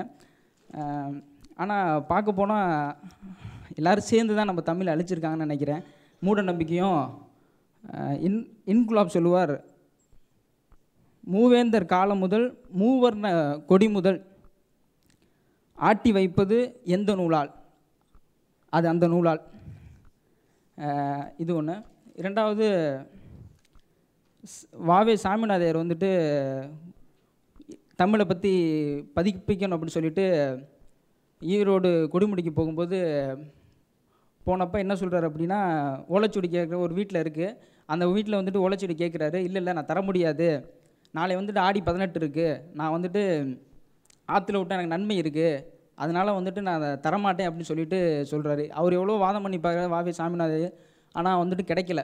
ஏன் அப்படின்னு சொன்னால் அவர் மூட நம்பிக்கையில் இருக்கார். இந்த மூட நம்பிக்கையினால் எவ்வளவோ தமிழ் அழிஞ்சிருக்குன்னு நான் சொல்ல வரேன். ஏன் அப்படின்னா திருக்குறள் வந்து ஒரு ஆயிரத்தி முந்நூற்றி முப்பது குரல் நம்ம கிடைச்சது மட்டும்தான். இன்னும் அவர் எழுதினது எவ்வளவோ நம்ம கிடைக்கல. அது கூட மூட நம்பிக்கைனால தான் நான் நினைக்கிறேன் ஐயா. அதுக்கப்புறம் அவர் சொல்லுவார் சாரு நிவேத் ஐயா சொல்லுவார் வந்துட்டு மொழி வந்துட்டு ஆதிக்க மொழியாகவும் அரசியல் சார்ந்தும் அதிகாரத்தின் பின்னணியில் இருக்கணும். ஆனால் நம்ம தமிழ் மொழி அது விட்டு இருக்கு. மக்களின் மொழியாக ஏழையின் மொழியாக இருக்குது அது உண்மைதானங்கய்யா சரி சொல்கிறேன் எனக்கு முதல்ல இந்த மூட நம்பிக்கைங்கிற வார்த்தையிலே நம்பிக்கை கிடையாது. அது வந்து எதெல்லாம் மூட நம்பிக்கைன்னு யார் யார் வரையறுக்க முடியும்? இந்த மூட நம்பிக்கைங்கிறது நம்மளை ஒரு உயரத்தில் வச்சுக்கிட்டு பாக்கி எல்லாரையும் பழிக்கக்கூடியது அதுக்கு எல்லையே கிடையாது. ஒவ்வொரு லேயர்லேயும் அடுத்தடுத்த விஷயங்களை மூட நம்பிக்கைன்னு சொல்லிட்டு போயிடலாம். உச்சகட்டமாக மூட நம்பிக்கைன்னு எல்லாத்தையும் பேசுகிறவங்க சயின்ஸை வந்து மூர்க்கத்தனமாக நம்பக்கூடியவங்க. கேள்வி கேட்காம அப்படியே சயின்ஸ் என்ன சொன்னாலும் அப்படியே கவிக்கணும்னு நினைக்கிறவங்க. அப்புறம் சயின்ஸில் நமக்கு எல்லாம் எதெல்லாம் பகுத்தறிவு சார்ந்து உண்மைன்னு நம்ம ஒத்துக்கிறோமோ அது எல்லாமே என்னங்கிறத வரலாற்றை தொடர்ந்து பார்த்துட்டு வந்தோன்னா நம்மளால் என்னைக்கு நிரூபிக்க முடியுதோ நம்மளால் என்னைக்கு ஏற்றுக்க முடியுதோ அது வரைக்கும் நம்ம உண்மைன்னு ஏற்றுக்கிறோம் அப்படி ஏற்றுக்க முடியாத எல்லாத்தையும் மூட நம்பிக்கைங்கிறோம். ஏற்றுக்கிறப்ப அது நம்பிக்கையாக மாறிடுது. சயின்டிஃபிக்காக இது ரெண்டுக்கும் உள்ள இடைவெளின்னு ஒன்று இருக்குது நியூட்டன் பற்றி சொல்லுவாங்க. நியூட்டன் வந்து மனிதகுல வரலாற்றிலேயே வந்து அவர் அளவுக்கு வந்து ஒரு அற்புதமான கண்டுபிடிப்பாளர் கிடையாது. அவர் அளவுக்கு வந்து ஒரு பெரிய ஆளுமை கிடையாது. இந்த மில்லினியம் வருஷம் நடந்தப்ப தி ஹண்ட்ரட்னு சொல்லி மைக்கேல் ஹார்ட்னு சொல்லி நினைக்கிறேன். அவர் தொகுத்த நூறு பேர் புத்தகங்களில் முதல் இடத்துல நியூட்டனை வைக்கிறார். ரெண்டாவது இடத்துல தான் நபிகள் வரார் நாலாவது இடத்துல தான் இயேசு வர்றார். அந்த அளவுக்கு ஒரு பவர்ஃபுல்லான இடத்துல அவர் வைக்கிறார். ஆனால் அப்பேற்பட்ட நியூட்டன் வந்து ஒரு அஞ்சு பர்சன்ட் மூளையை தான் தன்னுடைய வாழ்நாளில் சயின்ஸ் சம்மந்தமாக செலவழிச்சது. அதை காட்டிலும் பல மடங்கு ரசவாதம் உள்ளிட்ட பல்வேறு விஷயங்களில் செலவழிச்சிருக்கார் மெட்டாஃபிசிக்கல் மெட்டாசைன் ஸோ நான் எதுக்கு சொல்ல வரேன் இதென்னா இந்த மூடநம்பிக்கைங்கிற வார்த்தை அதை நம்ம தனியாக டிபேட் பண்ணலாம். எனக்கு அதில் கிடையாது. ஆனால் பிள்ளையார் செய்தி சார்ந்து சொல்லணும்னு சொன்னால் நான் நேற்று போட்ட ஃபேஸ்புக் ஸ்டேட்டஸ் ஒன்று சொல்லலாம்னு நினைக்கிறேன். எனக்கு பிள்ளையார் மேலே ரொம்ப பாசம் உண்டு. ரொம்ப செல்லமான ஒரு ஆள் மாரி அவர். பாக்கி எல்லோரும் வந்து கையில் வெப்பன்ஸோடு வச்சுட்டு பயமுறுத்துறப்ப இவர் வந்து சாந்தமாக இருப்பார் கட்டையாக இருப்பார். நமக்கு சின்ன வயசுலேருந்து இந்த யானையை பிடிக்குங்கிறதுனால யானை முகத்தோடு இருக்கும்போது அவர் ஒரு அண்ணன் மாரி இருக்கிறார். அவர்கிட்ட எல்லாத்தையும் நம்ம சொல்ல முடியும். லவ் முட்பட அப்போ பிள்ளையார் சேர்த்தி அப்படின்னா எனக்கு வந்து கொழுக்கட்டை சுண்டல் இதுதான் ஞாபகம் வரும். அப்படி பிள்ளையாருக்கு எதிர்நிலையில் இருந்தல பிள்ளையாருக்கு பக்கத்தில் இருந்து இந்த விதமான பிரம்மாண்ட சிலைகள் அது வெட்டப்படுறது கண்டம் துண்டமாக வெட்டி அங்கே கொண்டு போய் கரைக்கப்படுறது அதற்கு பின்னாடி இருக்கக்கூடிய அந்த ஊர்வலத்தின் போது நடக்கக்கூடிய வன்முறையை வன்முறை தூண்டக்கூடிய முழக்கங்கள் அதற்கு பின்னால் இருக்கக்கூடிய அரசியல் நோக்கங்கள் மத நோக்கங்கள் இந்த மத பிளவை உண்டாக்கக்கூடிய நோக்கங்கள் இது எல்லாத்தையும் பார்க்கும்போது இந்த பிள்ளையார் எப்படி எல்லாத்தையும் சகிச்சுக்கிட்டு இருக்காரு? ஏன் அவ்வளோதையும் சகிச்சுக்கணும் அப்படின்னு நினைப்போம்? சரியா? அதாண்டி அதில் போகணும்னு நான் நினைக்கல. பேசுவோம் பாக்கி விஷயங்கள் பேசுவோம் பாக்கி எல்லாமே உங்களோட கருத்துக்கள் தமிழ் சார்ந்த ஒரு விஷயம் தமிழ் அழியாது. அது வந்து ஒரு மாய். தமிழ் மீண்டும் மீண்டும் மீண்டும் மீண்டும் கிளர்ந்து தான் வேலை செய்யும். தமிழ் மதிக்கப்படணும் அப்படின்னு சொன்னால் நாம் எந்த அளவுக்கு அதிகாரத்தோடு இருக்கோமோ அந்த அளவுக்கு அது மதிக்கப்படும். ஃப்ரெஞ்சு பேசுகிறவங்களுடைய ம மக்களுடைய எண்ணிக்கை எவ்வளவு? ஃப்ரெஞ்சுக்காரங்க எவ்வளோ பேர் இருக்காங்க உலகத்தில்? கிட்டத்தட்ட நம்ம மக்கள் தொகையோடு ஒப்பிடக்கூடிய ஒரு கூட்டம் தான் அது. ஆனால் ஃப்ரெஞ்சு பேசுபவர்கள் உலகம் முழுக்க இருக்காங்க. அவங்களோட நம்பர் சேர்த்தா வேறையாக மாறிடும். ஃப்ரெஞ்சுக்காரர்களோட நம்பர்ஸ் விட. ஜெர்மன்காரங்களோட நம்பர்ஸ் எவ்வளவு? மக்கள் தொகை எவ்வளவு? ஆனால் ஏன் வந்து ஜெர்மன் வந்து ஒரு சர்வதேச மொழியாக எல்லாராலையும் கற்றுக்கொள்ளப்படுது ஏன் சென்னையில் இருக்கக்கூடியவங்க போய் கற்றுக்குறாங்க அப்படின்னா அதற்கு பின் அதிகாரம் இருக்குது அவங்க அந்த இடத்துல இருந்து நிற்கிறாங்க செல்வம் இருக்குது வேலை வாய்ப்புகள் இருக்குது அந்த இடத்த நோக்கி நம்ம போகணும். அதிகாரத்தை நோக்கி நம்ம போகணும். நம்ம பிள்ளைங்களை நம்ம அதிகாரத்தை நோக்கி போகிறவங்களா வளர்க்குறோமா அப்படின்னா அதிகாரத்தை நோக்கி போகிறவங்களா வளர்க்கல. அதிகாரத்துக்கிட்ட கை கட்டி நிற்கக்கூடியவங்களா பயந்து போகக்கூடியவங்களா பொத்தி பொத்தி அவங்கள வந்து அவங்கள அவங்கள்ட்ட நம்ம பண்ணுறது எல்லாம் என்னென்னு சொன்னால் காயடிக்கிற வேலை மட்டும்தான். பள்ளிக்கூடத்தில் ஆரம்பித்து வீட்டில் ஆரம்பித்து எல்லாம் திருப்பி திருப்பி நம்ம பிள்ளைகளுக்கு கொடுக்கக்கூடிய அதிகபட்ச ட்ரைனிங் என்னென்னா காந்தி சொல்வார் எது பயத்தில் இருந்து உன்னை விடுவிக்கிறதோ அதுதான் கல்விம்பார். கல்வியோட அடிப்படையே பயத்திலேருந்து விடுத விடுவிக்கிறது தான் ஆனால் நம்முடைய கல்வி என்ன? நோக்கம் என்ன? பயத்தை வந்து நிறுவனமயமாக அது கற்றுக் கொடுக்குது. எப்படியெல்லாம் பயப்படணும்? பயப்படுறத கூட எப்படி பயப்படணும் அப்படின்னு சொல்லி கொடுக்குது. ஆஃபீஸருக்கு முன்னாடி பயப்படாட்டினா கூட பரவாயில்ல. பயப்படுற மாதிரி நட நடிச்சுக்கோ. அதனால் இந்த பலன் கிடைக்கும். பணிவுங்கிற பேரில் பயத்தை கற்றுக் கொடுக்குது. ஆசிரியர்கிட்ட எப்படி க- பயப்படுறது? ஆக இந்த பயத்தை தான் வந்து கற்றுக் கொடுக்குது. பயத்தின் வழியாக அவரை வந்து சேரக்கூடிய ஒரு சமூகம் வந்து அதிகாரத்தை கனவு காண முடியாது. அது அதிகாரத்துக்கு கீழே முண்டக்கட்டி வாங்கிட்டு நிற்கிறதுக்கு தான் நிற்கும் ஏன் தமிழக அரசியல் இப்படி இருக்குது பவரில் இருக்கிறவங்க ஏன் இவ்வளோ பம்புறாங்க அப்படின்னா அதற்கான கூறு இதில் இருக்குது தமிழ் தமிழ் ஏன் இப்படி இருக்குங்கிறது தமிழக ஆட்சியாளர்களை பார்த்தா தெரிஞ்சுக்கலாம். வேறு ஒன்றும் கிடையாது. ஐயா வணக்கம். பெருந்தலைவர் காமராஜர். அவர் படிப்பறிவு அந்த அளவுக்கு இல்லை. ஆனால் அவரோட ஒம்பது வருஷ ஆட்சி தான் தமிழ்நாட்டோட பொற்காலம்னு சொல்கிறாங்க அவரோட கல்வி புரட்சியும் சரி ஒரு தொழில் புரட்சியும் சரி அணைக்கட்டுகள் அதெல்லாம் கட்டணும் சரி இந்த ஐம்பது வருஷத்தில் யாரும் அந்த அளவுக்கு செய்யலை. நீங்கள் முன்னேற்றம்ன்றீங்க இது பின்னேற்றமாக தான் தெரியுது. ஒன்று ரெண்டாவது இந்த தமிழக அரசியலும் திரை திரையுலகமும் பின்னி பிழைந்திருக்கிறான் ஏன் தமிழகத்தில் மட்டும் இந்த திரை திரைப்பட நடிகர்கள் வந்து ஆதிக்கம் செலுத்துகிறார்? ஏன் தமிழகத்தில் படித்தவர்கள் இல்லையா? இது எனக்கு மிகப்பெரிய கேள்வி. இது மட்டும் கொஞ்சம் சொல்லிடுறேன் ஒன் செகண்ட் ரொம்ப நல்ல கேள்வி. ஒரு சந்தர்ப்பத்தை ஏற்படுத்தி கொடுத்துருக்காரு.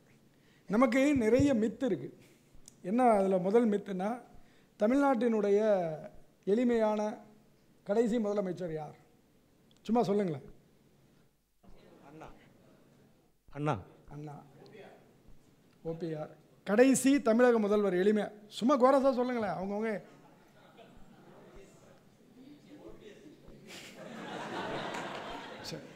இல்லை பொதுவாக நம்ம கல்லூரிகள்லாம் போய் பேசினோம்னா நீங்கள் சும்மா கல்லூரி மாணவர்கள் அண்ணா தானே சார். எளிமை அப்படின்னு சொன்னோன்னா காமராஜரோட அது முடிஞ்சிடும் தமிழகத்தோட களங்கமான அரசியல் வரலாறு அப்படின்னு ஆரம்பிக்கும் போது வந்து கருணாநிதியிலேருந்து ஆரம்பிப்பாங்க. இது ரெண்டுமே வந்து பெரிய மித்து. தமிழ்நாடு கண்ட முதல்வர்களிலேயே மிக மிக எளிமையானவர் அண்ணா தான் அவரளவுக்கு பணத்தை துச்சமென நினைத்த ஒரு முதல்வர் கிடையாது. காமராஜரை நான் சிரமப்படுத்தலை. காமராஜர் அவருடைய தியாகம் அவருடைய பணிகள் அவருடைய ஈடுபாடு எல்லாமே தமிழ்நாட்டுக்காக அவரால் உழைக்க முடிஞ்ச அளவுக்கு உழைச்சார். ஆனால் காமராஜரா அண்ணாவா அப்படின்னு கேட்டால் அண்ணா தான். அதில் எந்த விதமான சந்தேகமும் கிடையாது. அண்ணா இறந்தபோது பெட்ரோல் பங்க்கில் அவருக்கு பாக்கி இருந்துச்சு. அவர் கட்ட வேண்டிய பணம் இருந்துச்சு. புற்றுநோய் சிகிச்சைக்காக முடிச்சுட்டு இங்கேருந்து வராரு. வரும்போது வந்து அவர் முதல்வர். நீங்கள் வந்து அங்கே அமெரிக்காவில் என்ன சொல்லி அனுப்புகிறாங்கன்னா ஏசி ரூமில் தான் ரெஸ்ட் எடுக்கணும். இல்லை கொஞ்சம் ரெஸ்ட் எடுத்தீங்கன்னா தான் உடம்பு தாங்கும்னு சொல்லி அனுப்புகிறாங்க அவருடைய வீட்டில் ஏசி கிடையாது. அவருடைய சகாக்கள் ஒரு ஏசி ரூம் உள்ள வீட்டை ஒன்று பார்த்து ஏற்பாடு பண்ணி இவர் அழைச்சிட்டு போகிறாங்க இவர் அங்கே போய் பார்த்துட்டு மனசு சரியில்லை. இருக்கு நான் வேணாம் அப்படின்னு சொல்லிட்டு என்னன்னு சொன்னால் இது ரொம்ப ஆடம்பரம் அப்படிங்கிற இதுதான் அண்ணா. அப்போ அண்ணா வந்து புதைக்கப்பட்டது இருக்கு இல்லையா? நம்முடைய ஞாபக ஞாபகம் வரலா வரலாற்று ஞாபகத்திலேருந்து புதைக்கப்பட்டது வந்து தமிழகம் அடைந்த எல்லா விதமான இழிவுக்குமான பிரதான காரணங்களில் ஒன்று அப்புறம் காமராட காமராஜருடைய ஆட்சி பொற்கால ஆட்சியா அப்படின்னா நிச்சயமாக பொற்கால ஆட்சி தான். ஆனால் ஐம்பதாண்டு கால ஆட்சியா அல்லது அதற்கு முன்னால் காமராஜர் உட்பட காங்கிரஸின் ஒட்டுமொத்த ஆட்சியா அப்படின்னு கேட்டால் அடித்து சொல்லலாம் பலமுறை அடித்து சொல்லலாம் திராவிட இயக்க ஆட்சி தான். அதில் எந்த விதமான சந்தேகமும் கிடையாது. என்ன பிரச்சனைன்னா இதெல்லாம் அவங்க என்ன பண்ணினாங்கங்கிற விஷயம் இருக்கு இல்லையா? அதுவே இன்னைக்கு இருக்கிற தலைமுறைக்கு தெரியாது. அவங்க என்ன பண்ணியிருக்காங்க ஏது பண்ணியிருக்காங்க அவ்வளோ விஷயங்கள் வந்து மிக மிக மிக அற்புதமான விஷயங்கள் அவங்க பண்ணியிருக்காங்க நீங்கள் நான் வந்து பொதுவாக வந்து சில கேள்விகளை கேட்டுக்கிறது உண்டு. சரி ஒரு நல்ல விஷயத்தை இங்கே ஷேர் பண்ணிக்கிறதாவே வச்சுக்கோமே. தமிழ் ஹிண்டு இப்போ ஒரு முக்கியமான ஒரு பணியில் ஈடுபட்டிருக்கு. மிக விரைவில் திராவிட இயக்க நூற்றாண்டு திராவிட ஆட்சி ஐம்பது கலைஞர் அறுபது இது மூன்றையும் தொடக்கூடிய புள்ளியில் ஒரு புத்தகத்தை கொண்டு வரப்போகுது ஒரு மாதம் அநேகமாக வந்துடும் இதற்கான ஆய்வு பணியில் ஒரு குழுவே ஈடுபட்டிருக்கும். எங்கள் ஆசிரியர் குழுவிலேருந்து சில மாதங்களாக அந்த ஆய்வு பணியில் ஈடுபட்டிருந்தவர்களில் நானும் ஒருத்தன். அந்த அடிப்படையில் சொல்கிறேன். ரொம்ப ரொம்ப ரொம்ப நம்ம அண்டர் எஸ்டிமேட் பண்ணி வச்சுருக்கோம். பல விஷயங்கள் வரலாற்றில் மறைக்கப்பட்டிருக்கின்றன. திராவிட ஆட்சி என்ன பண்ணிச்சு அப்படிங்கிறதெல்லாம் இருக்கு இல்லையா? ஹிந்துவில் வரக்கூடிய அந்த புத்தகம் வந்து அதற்கான பதிலாக இருக்கும். அதை பற்றி வி- ரொம்ப விரிவாக பேசலாம். நம்ம நினைக்கிற மாரி கிடையாது.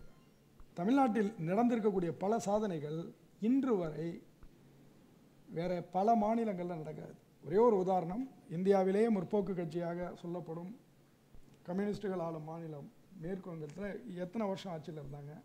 அதுக்கப்புறம் மம்தாவும் வந்தாச்சு. இன்னை வரைக்கும் கை ரிக்ஷா இழுத்துக்கிட்டு இருக்காங்க. தமிழ்நாடு இதை ஒழித்து ஐம்பது வருஷம் ஆகும் இது ஒரு இது வந்து இதை வச்சுட்டு எல்லாத்தையும் எஸ்டிமேட் பண்ணுறது அல்லது கம்யூனிஸ்டோட ஆட்சியை நான் துச்சப்படுத்துகிறேன் அப்படிங்கிறது இல்லை.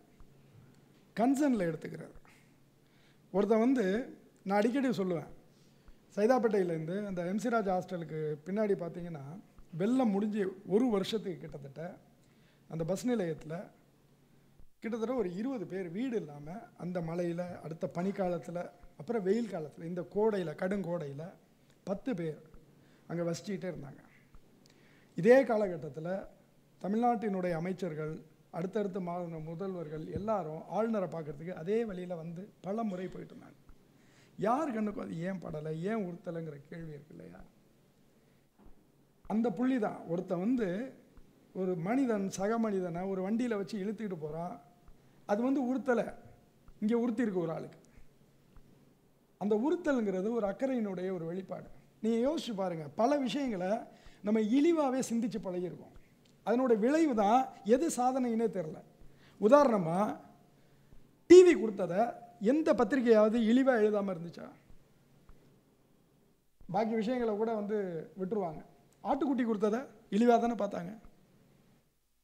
ஆனால் இந்த தலைமுறைக்கு தெரியாது. கொஞ்சம் முன்னாடி உள்ள உங்கள் அத்தனை தலைமுறைக்கு தெரிஞ்சிருக்கோம். டிவிங்கிற ஒரு மீடியம் வந்தப்போ எப்படி நம்ம வாழ்க்கையில் முத முதல்ல அறிமுகமாச்சு அப்படிங்கிறது. ஒரு கிராமம் இருக்குது அல்லது ஒரு நகரம் சிறுநகரம் இருக்குன்னு சொன்னால் ஊரில் எவன் பணக்காரனோ அவன் வீட்டில் மட்டும் டிவி இருக்கும். அத்தனை பேரும் போய் அவன் வீட்டு வாசலில் நின்றுட்டு இருப்பாங்க. ஐம்பது பேர் நூறு பேர் வெளியில் நின்று பார்த்துட்டு இருப்பாங்க. அவன் நினச்சா ஆஃப் பண்ணுவான் முடிஞ்சு போச்சு. அங்கே அப்படி தான் டிவிங்கிறது அறிமுகமாகுது. நான்லாம் என்னுடைய சிறு வயதில் மூணு தெரு தள்ளி போய் டிவி பார்த்துட்டு வந்திருக்கேன். அப்புறம் தெருவில் வந்து ஒரு வீட்டில் கல்யாணம்னா டெக் எடுத்துகிட்டு வந்து விடிய விடிய படம் போடுவாங்க. இப்படி தான் டிவிங்கிற மீடியம் வந்து அவ்வளோ பெரிய ஒரு ஆடம்பர பொருளாக இருக்குது அது மூணு வீடு கட்டினவனும் வாங்கி வச்சுக்கிட்டாங்கிறது வேறு. அதில் நம்ம இருக்கிறதுனால தான் நம்ம அதை இழிவாக பார்க்குறோம். நமக்கு அது வேணாம்னு நினைக்கலங்கிறதுனால. ஆனால் டிவிங்கிறது நுழையாத சேரிகளை யோசிச்சு பாருங்கள் அடித்தட்டு மக்களை யோசிச்சு பாருங்க. அவங்களுக்கு அப்படி ஒரு உபகரணம் போனதில் என்ன தப்பு இருக்குது அது ஜனநாயகப்படுத்தலையா அதில் அவங்க செய்தி பார்க்க மாட்டாங்களா? நம்மெல்லாம் பெரிய புத்திசாலிங்க. டிஸ்கவரி வச்சு பார்த்துட்டு ஹிஸ்ட்ரி சேனல் வச்சு பார்த்துட்டு இருப்போம். ஏழை மக்கள் இலவச டிவி பார்க்குறவங்கெல்லாம் வந்து படம் பார்த்து அவன் குட்டிச்சோரா போய் அவன் வந்து கேவலமாக தான் நடந்துக்குவான். இது என்ன ஒரு இழிவான பார்வை இது? தமிழ்நாட்டில் மட்டும்தாங்க. ஒரு பொண்ணு பிறக்குந்துச்சுன்னா அந்த பொண்ணு வந்து எனக்கு வேணாம் பொம்பளை பிள்ளை வேணான்னு சொல்லி ஒரு தாய் முடிவு பண்ணா அப்படின்னு சொன்னால் நீ வந்து அதை அரசு தொட்டிலில் போட்டு நான் பார்த்துக்கிறேங்கிற ஒரு திட்டம் இருபது வருஷத்துக்கு முன்னாடி வச்சு ஜெயலலிதா ஆட்சிக்கு வந்தப்ப. முப்பது வருஷம் ஆகப்போகுது இன்றைக்கி அதை சென்ட்ரல் கவர்மெண்ட் வந்து எடுத்து ஆளை தோண்டி வேறு வடிவத்தில் அறிமுகப்படுத்த பார்த்துக்கிட்டு இருக்கு. இது எந்த மாநிலத்தில் நடந்திருக்கு? யோசிச்சு பாருங்கள் ஒரு பொண்ணை அப்படியே டேக் ஓவர் பண்ணிக்கிறது. தமிழ்நாட்டில் மட்டும்தான் ஒரு பெண் வந்து கர்ப்ப ஒரு ஒரு பொண்ணை வந்து படிக்கிறதுக்கு அவங்கள ஸ்கூலுக்கு போகும்போது வந்து சைக்கிள் கொடுத்தாங்க. தமிழ்நாட்டில் மட்டும்தான் ஒரு பொண்ணு கல்யாணம் ஆகும்போது அவளுக்கு கவர்மெண்ட் வந்து தன்னோட பொண்ணாக பாவித்து தாலி கொடுக்குது. திருமண உதவி திட்டத்தை கொண்டு வந்து செயல்படுத்துது. தமிழ்நாட்டில் மட்டும்தான் ஒரு பொண்ணு வந்து மாசமாக இருக்கும்போது அவங்களுக்கான கேரை வந்து தன்னளவில் எடுத்துக்கிட்டு பணம் கொடுக்குது. அப்போ ஒரு பெண்ணை வந்து என்னுடைய அரசாங்கத்தின் சார்பில் நான் டேக் ஓவர் பண்ணிக்குவேங்கிறது இருக்குல்ல? இதெல்லாம் எங்கேயாவது சாதனையாக நம்ம யோசித்து பார்த்துருக்கோமா? அரிசியை நம்மள்டேருந்து பிடுங்கும் போது தான் அரிசிங்கிறது என்னங்கிறது தெரியும். ஐம்பது வருஷமாக இந்த ஆட்சி வந்து திராவிட இயக்க ஆட்சி வரும்போது ரூபாய்க்கு மூணு படி அரிசின்னு சொல்லிட்டு வராங்க. ஐம்பது வருஷத்துக்கு அப்புறம் இன்னைக்கு இலவசமாக கிடச்சிட்டு இருக்கு. ஐம்பது வருஷத்தில் திராவிட இயக்கம் என்ன பண்ணுச்சுங்கிறது இருக்குல்ல? இது ஒன்று போதும்னு நினைக்கிறேன். இந்த கரிசனம். நான் இதில் இதெல்லாம் வந்து நமக்கு ஏன் புரிய மாட்டேங்குது அப்படின்னா நாம் உட்கார்ந்துருக்கிற திமிர் அந்த இடத்துல. யாராவது ஒருத்தர் பழங்குடி மக்கள் வசிக்கக்கூடிய இடத்துக்கு போங்க. ஏழை மக்கள் வசிக்கக்கூடிய இடத்துக்கு போங்க. அங்கே அரிசிங்கிறது பத்து கிலோ அரிசி கொடுக்குறதுங்கிறதோ அல்லது இலவச அரிசிங்கிறதோ அவங்களுடைய எவ்வளோ பெரிய ஆதாரம் அப்படிங்கிறத நீங்கள் நேரில் போய் பார்ப்பீங்க. ஏன் இவங்க திருப்பி திருப்பி திருப்பி ஓட்டு போடுறாங்க அப்படின்னா அரிசிக்காகவே ஓட்டு போடுறாங்க. ஏனென்றால் அரிசி வந்து ஒருத்தனோட வயிற்று பசியை தீக்குங்கிற பிரஜை இங்கே இருக்குது அந்த பிரஜைக்கு வந்து சேர்றதுக்கு இந்தியாவின் ஏனைய மாநிலங்களுக்கு பல வருஷங்கள் ஆகுது நீங்கள் இதில் உள்ள மொழியெல்லாம் பார்க்கணும் மொழி பிரயோகத்தை. தமிழ்நாட்டு அரசியல்வாதி அதை செஞ்சால் அதுக்கு இலவச அரசியல்னு பேர். ரொம்ப அதுக்கு வந்து ஒரு கண்ணியமான மொழியில் சொல்லணும்னு சொன்னால் வெகுஜன அரசியல்னு சொல்லுவான். இதையே அவர்கள் செய்யும்போது இங்கேருந்து பார்த்து வட இந்திய மாநிலங்கள் செய்யும்போது சமூக நல அரசியல் மக்கள் நல அரசியலாக மாறிடும். தமிழ்நாட்டில் செய்யப்பட்டால் சமூக நீதி கூட சாதி அரசியல். இடஒதுக்கீடு கூட சாதி அரசியல் தான். ஓட்டு அரசியல். ஆனால் திட்டமிட்டு ஓட்டுக்காக வட மாநிலங்களிலே சாதி அரசியல் செய்தால் அதற்கு பேர் சோஷியல் இன்ஜினியரிங் இந்த வார்த்தைக்கு பின்னாடி இருக்கக்கூடிய பாலிடிக்ஸை நம்ம பார்க்கணும். நமக்கு முதல்ல நம்மளுடைய விஷயங்களில் தெளிவு அதுதான் நான் சொல்கிறேன் உன்னதங்களை பற்றி பேசக்கூடிய ஒரு சமூகம் முதல்ல உன்னதம்னா என்னன்னு தெரிஞ்சிருக்கணும். அந்த உன்னதத்தை இன்றைக்கி நம்ம இழந்துட்டு நிற்கிறது நம்முடைய மிக முக்கியமான பிரச்சனை. திராவிட இயக்கத்துடைய சாதனை ஏன் வந்து இது பண்ணல? இல்லை வந்து ஏன் சினிமா ஸ்டாரை மட்டும் வந்து திருப்பி திருப்பி அங்கேருந்து வந்துட்டு இருக்காங்கன்னா இந்த கூட்டத்தில் ஒரு மிகப்பெரிய கவிஞர் வந்து உட்காந்துருக்காரு எத்தனை பேருக்கு அவர் அடையாளம் தெரியும்?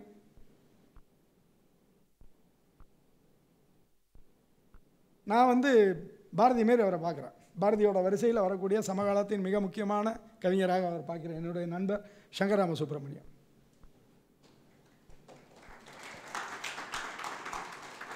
இதுதான் தமிழ்நாட்டில் ஒரு எழுத்தாளனுக்கோ அறிவுஜீவிக்கோ நம்ம கொடுக்குற மரியாதை. அண்ணா நூலகத்தில் வந்து இப்படி உட்காந்துருக்க கூட்டத்துக்கே அவர் அடையாளம் தெரியலைன்னா நம்ம வந்து வெளியில் அஜித் படத்தோட டிக்கெட்டை ஆயிரரூவா கொடுத்து வாங்கக்கூடியவங்கள்ட்ட போய் என்ன பேச முடியும்? நாம் எங்கே நம்மளுடைய கனவுகளை தேடுகிறோமோ அங்கே தான் ஆள் கிடைக்கும். ஆரம்பத்தில் சொன்னது தான் நமக்கு சட்டியில் என்ன இருக்கோ அது ஆப்பையில் வரும். நாம் ஒரு பக்கம் விமர்சிக்கிறவங்களா இருக்கும் இன்னொரு பக்கம் நாமளே அதாக இருக்கும். இது ரெண்டுமா இருக்குது இந்த ரெண்டு விதமான செயல்பாடு இருக்கு இல்லையா? அதுதான் பிரச்சனை. அசோகமித்திரன் சொல்லுவார் தமிழ்நாட்டில் சபரிமலை சீசன் அப்படின்னா இருக்கிற ஆட்டோ ஸ்டாண்டில் எல்லோரும் வந்து பார்த்தீங்கன்னா மாலை போட்டுட்டு நிற்கிறாங்க ஆனால் ஒரு இடத்துலையும் மீட்டர் போடுறது கிடையாது. மாலை போடுறது புண்ணியத்துக்காக போடுறேன்னா மீட்டர் போடாதது பாவம் இல்லையா? அப்போ இந்த பிரெயின் ரெண்டு விதமாக திங்க் பண்ணுறது இருக்குல்ல. இதுதான் அரசியல்வாதிகள்ட்டையும் வருது கிழங்கு மாரி போய் அத்தனை கோயில்லையும் விழுந்து எந்திரிக்கிறது. திருப்பதி வெங்கடாஜலி ஓடி போயிடுவார் போல இருக்கீங்க மெட்ராஸ்லேருந்து போகக்கூடிய ஆட்கள்லாம் பார்த்து. வந்துட்டு இங்கே அவ்வளோ வேலையும் பண்ணுறது ரெண்டு விதமாக ஆப்ரேட் பண்ணுறது கடவுள் இல்லைன்னு சொல்லிட்டா வேறு விஷயம். கடவுள் இருக்கிறாருங்கிறாலே கடவுளை ரெண்டு விதமாக டீல் பண்ணுறது இருக்குல்ல. அதுதான் துயரமான விஷயம். ஆக திராவிட இயக்க ஆட்சி வந்து சொத்தையான ஆட்சியெல்லாம் கிடையாது. திராவிட இயக்கத்தினோட ஆட்சி என்ன பண்ணிச்சு ஐம்பது வருஷத்தில்?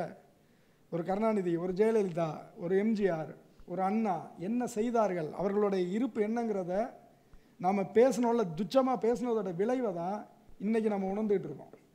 ஒரு தலைமை இல்லாத மாநிலம் எவ்வளோ வந்து தவிக்குங்கிறதும் எப்படி நசுக்கப்படுங்கிறதும் நீ பார்த்துட்டு இருக்கோம் வெறும் நம்பர்ஸ் கிடையாது. வெறும் நம்பர்ஸ் கிடையாது ஆட்சி. வெறும் பவர் கிடையாது. தலைவங்கிறவன் அப்படி அப்படி நிற்கணும் ஏன் வந்து இந்த மண்ணில் வந்து அது ஐம்பது வருஷமாக இருக்குன்னா நீ நல்லதோ கெட்டதோ தமிழ்நாட்டை தமிழை ஆள். நீ சொந்தமாக முடிவு எடுத்து எங்களை நாசமாக கொண்டு போய் எங்கன்னா தள்ளுன்னு சொல்லி ஐம்பது வருஷமாக நடத்திட்டு இருக்காங்க. அதில் என்னைக்கு கை வைக்கிறாங்களோ அன்றைக்கி எந்த விதமான ஆட்சியாக இருந்தாலும் தூக்கி எறியப்படும். அதில் ஒன்றும் சந்தேகமே கிடையாது. அதை நோக்கி தான் போயிட்டுருக்கோம் அடுத்த கேள்வி என்ன சார் வணக்கம். நீங்கள் சொன்ன அந்த திராவிட இயக்க ஆட்சி அவர் ஐம்பத்தி ரெண்டில் பராசக்தியில் எழுதியிருக்காரு எல்லாம். குடிசை மாற்று வாரியம் கை ரிக்ஷா ஒழிக்கிறது பிச்சைக்கார் மறுவாழ்வு மையம். பிச்சைக்கார் மறுவாழ்வு மையம் கை ரிக்ஷா ஒழிக்கிறது எல்லாம் எழுதியிருக்காரு. அது கண்ணு. ஆமாம் கண்ணு. ஆமாம் கண்ணொலி கண்ணொளி திட்டம். இதைத்தான் அவர் திரும்ப எழுபத்தி ரெண்டுகளில் எழுபதுகளில் முயற்சி பண்ணி கொண்டு வர்றார். இது ஒன்று நான் உங்கள்கிட்ட கேட்க வந்தது சாதாரண நாட்களில் உங்கள் கட்டுரை நிறையா இப்போ வந்துச்சு.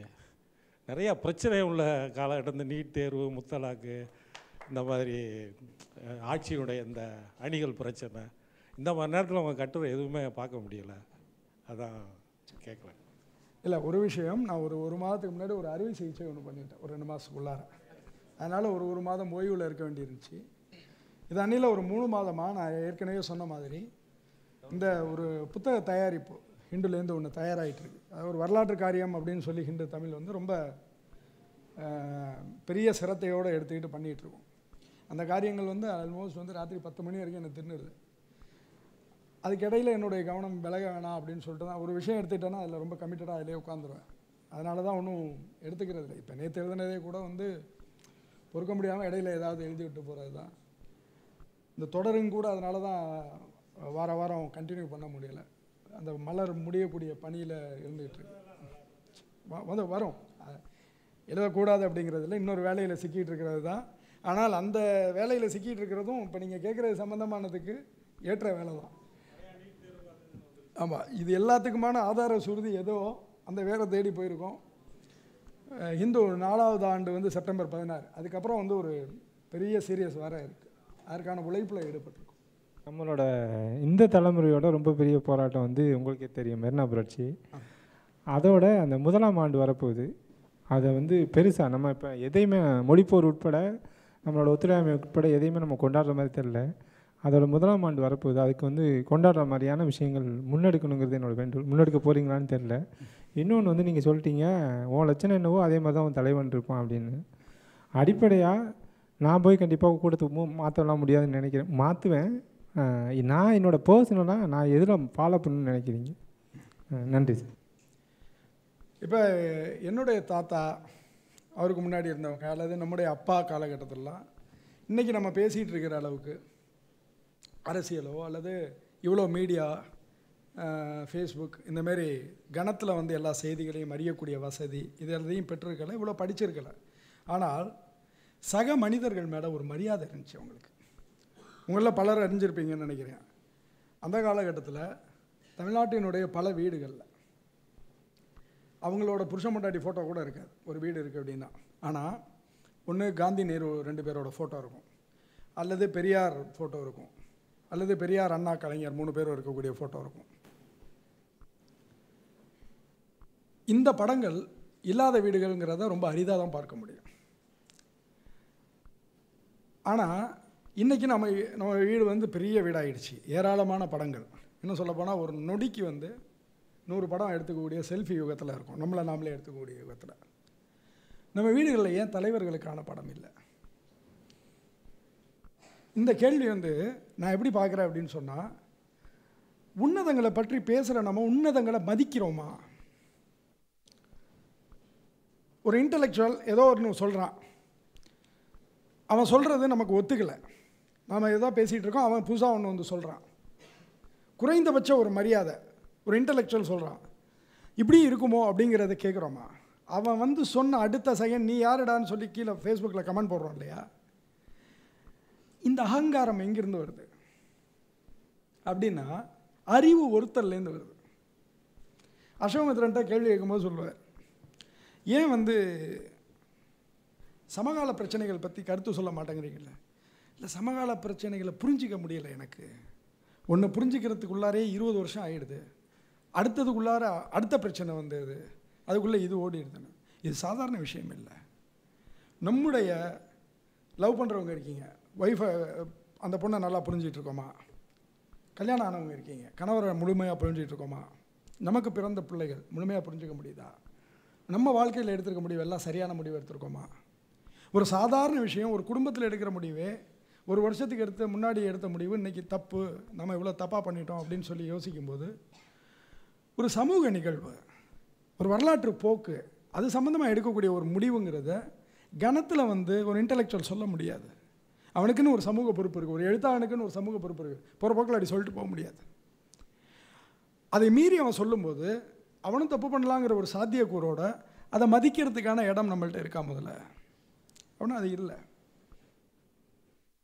இது இன்டலெக்சுவல்கிட்ட மட்டும் இல்லை லீடர்ஸ் வரைக்கும் எல்லாத்தையுமே இருக்குது இன்றைக்கி நம்மள்கிட்ட வந்து ரொம்ப மிக முக்கியமான தாக்குதல். தமிழகம் வந்து இன்றைக்கி அடைஞ்சிருக்க வீழ்ச்சியில் ஒன்று நம்மள்கிட்ட தலைவர்கள் இல்லைன்னு சொல்கிறோம் இல்லையா? தலைவர்கள் இல்லாமல் போனதுக்கு யார் காரணம்னா மீடியா ஒரு மிக முக்கியமான காரணம்னு நான் நினைக்கிறேன். ஒரு பெருமையை சொல்லிக்குவேன். தமிழ் ஹிண்டு வந்து அந்த வெற்றிடத்தை முடிஞ்ச வரைக்கும் நிரப்ப முயலுது. ஆனால் ஒரு ஜெயலலிதா கருணாநிதிக்கு பின் இவ்வளோ பெரிய மாஸ் லீடர் நம்மள்ட்ட கொண்டு வந்து சேர்க்கப்படாததுக்கான காரணம் யார்? லீடர் இல்லைங்கிறது கிடையாது. லீடர்ஸ் இருக்காங்க. ஆனால் லீடர்ஸ் ஏன் வந்து இங்கே நமக்கு லீடர்ஸாக உணர வைக்கப்படலைன்னா மீடியா ஒரு பக்கம் அவதூறுகளையும் இன்னொரு பக்கம் பியூரிட்டனிசத்தையும் உற்பத்தி பண்ணிக்கிட்டே இருக்கு. மாணவர்கள்ட்ட போய் என்ன சொல்லுதுன்னா பாரு காமராஜர் எப்படி இருந்தார்? இன்றைக்கி எப்படி இருக்காங்க? இவங்க திராவிட இயக்கம் அப்படிங்குது. காமராஜரை பற்றி பேசணுன்னா நீ அண்ணாவோடல ஒப்பிட்டு பேசணும். ஸ்டாலினை பற்றி நீ பேசணும் அப்படின்னு சொன்னால் சிதம்பரத்தோட பையனோட ஒப்பிட்டு பேசணும். அதுதான் நியாயம்?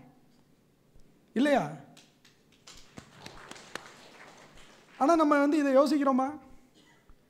ஒரு தலைமுறையோட வீழ்ச்சி அது. எளிமையாக இருந்தாங்க நேர்மையாக இருந்தாங்கன்னா ஒரு தலைமுறையோட வீழ்ச்சி. அன்றைக்கி கம்யூனிஸ்டும் அப்படி தான் இருந்தாங்க பிஜேபிலையும் அப்படி தான் இருந்தாங்க ஆர்எஸ்எஸ்லையும் அப்படி தான் இருந்தாங்க காங்கிரஸ்லையும் அப்படி தான் இருந்தாங்க. எல்லாரும் எளிமையாகவும் நேர்மையாகவும் தான் இருந்தாங்க. இன்றைக்கி திராவிட இயக்கம் மட்டுமா சோட போயிடுச்சு? பிஜேபியினுடைய லட்சணம் என்ன? காங்கிரஸினுடைய லட்சணம் என்ன? கம்யூனிஸ்டுகள் மிச்சம் இருக்காங்க.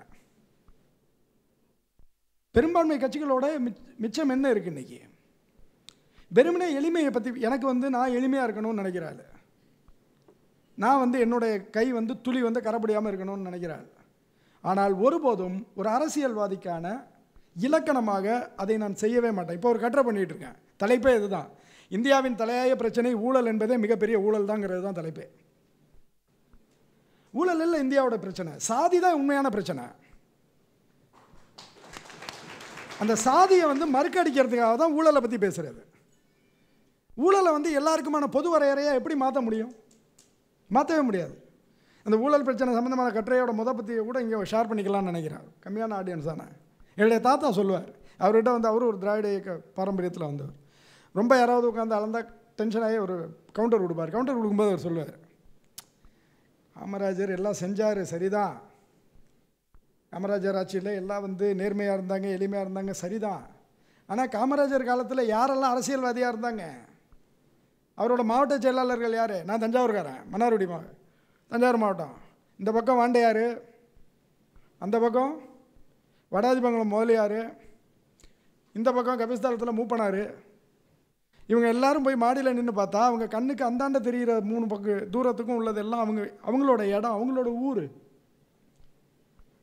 ஊரில் இருக்கிறவனே நீங்கள் போய் எந்த இந்த இடத்துல நீ இருக்கிய அப்படின்னு கேட்டால் அது ஐயா போட்ட பிச்சை அப்படின்னு சொல்லுவாங்க. அவ்வளோ இடங்கள் இருந்துச்சு. அவங்க ஏன் ஊழல் பண்ணோம் அவங்களுக்கு பார்லிமெண்ட்டுக்கு போயிட்டு வர்றதுங்கிறது லைன்ஸ் கிளப்புக்கு போயிட்டு வர மாதிரி அவங்க ஏன் ஊழல் பண்ணோம் ஆனால் திராவிட இயக்கம் யாரை பவருக்கு கொண்டு வந்துச்சு? ஒரு சைக்கிள் கம்பெனி வச்சுருக்கவன. ஒரு பார்பரை எளிய மக்களை கொண்டு வந்துச்சு. இந்த எளிய மக்களையும் பல்லாயிரம் கோடி அதிபதிகளையும் ஒரே கோட்டில் நின்று நீ ஓடுன்னு சொல்கிற சிஸ்டம் ஊழலா? அல்லது இவ்வளோ பெரிய பண்ணையார்களை எதிர்த்து போட்டி போடுறதுக்கு அவர்களோட செலவை அவர்களுடைய பணத்தை அவர்களுடைய பராக்கிரமத்தை எதிர்த்து போராடுறதுக்கு அங்கங்கே கை நீட்டி வாங்குற காசு வாங்குற ஆள் இவர் ஊழல்வாதியா? இல்லை எது ஊழல்? இப்போ நான் அரசியலுக்கு வரேன். என் பையன் வந்து ஏதோ ஒரு பத்து ரூபா வாங்கிடுறாரு. நான் ஊழல்வாதி ஆகிடுறேன் ஆனால் நான் ஒரு பண்ணையாராக இருக்கேன். மூவாயிரம் கோடி அதிபதி இருக்குது அல்லது ஒரு தொழிலதிபராக இருக்கேன். எங்கள் எங்கள் அப்பாட்டேருந்து அந்த சொத்து வந்திருக்கு. நான் நேர்மையாக இருந்தால் நேர்மையாளர்.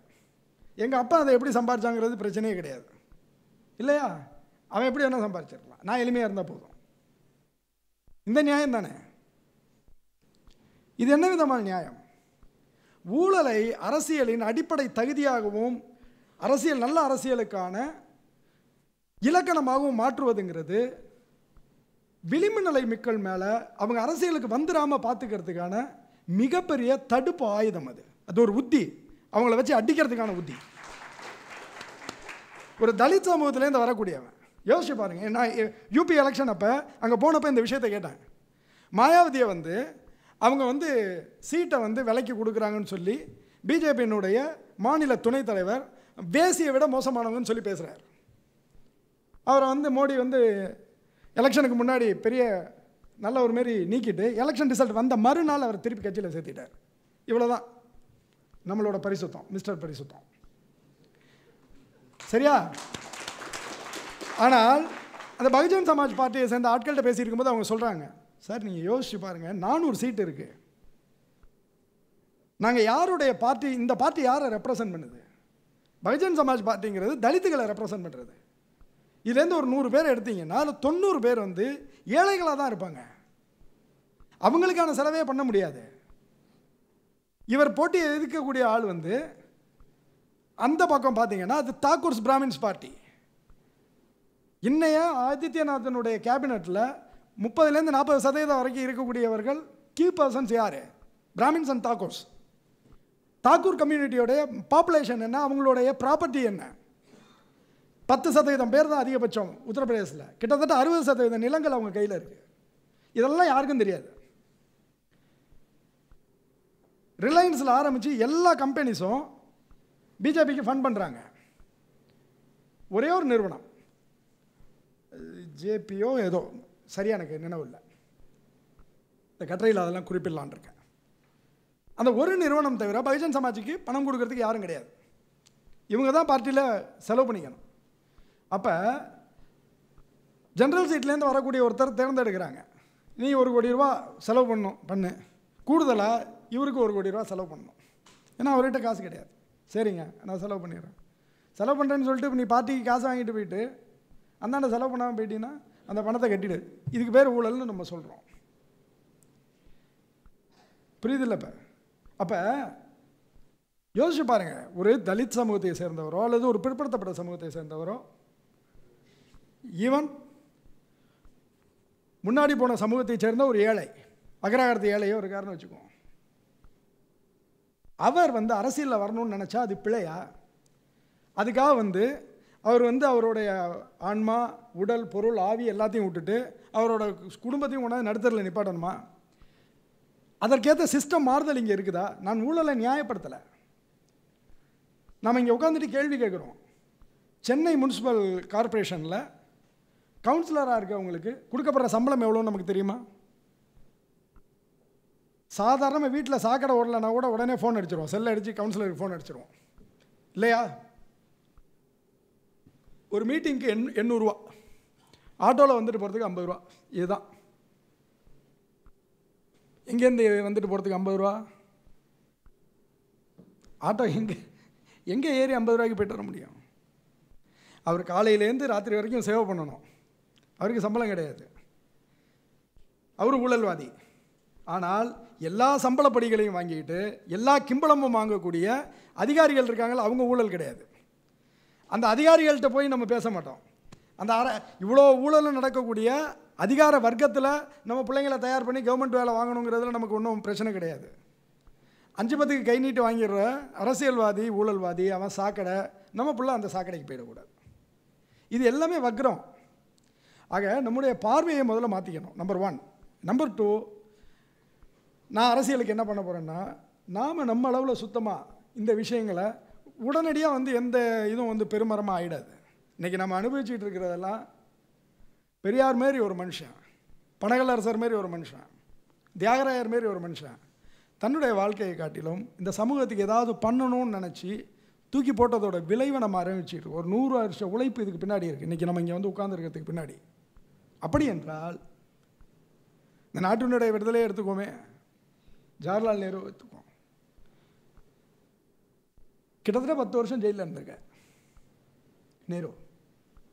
அதில் ரொம்ப முக்கியமான விஷயம் கவனிக்க வேண்டிய விஷயம் இந்த இழிவான ப அரசியல் எதிரிகள் அவருடைய அரசியல் எதிரிகள் நேரு வந்து பெண்களோடு இருக்கிற ஃபோட்டோ எடுத்து ஃபேஸ்புக்கில் போட்டு அவரை இழிவுபடுத்துறது ஒரு இழிவுல ஒன்று ஆனால் அவருடைய வாழ்க்கைங்கிறது ரொம்ப ஒரு குறுகிய காலம். மிக குறுகிய காலம். இருபது வருஷத்துக்கு உட்பட்ட மன வாழ்க்கை அது. அதில் பாதி காலம் சிறையில் இருக்கார். மீதி காலம் போராட்ட காலத்தில் இருக்கார். இதுதான் அவர் வாழ்க்கை. அவ்வளோ பெரிய அரண்மனை மாதிரியான வீடு.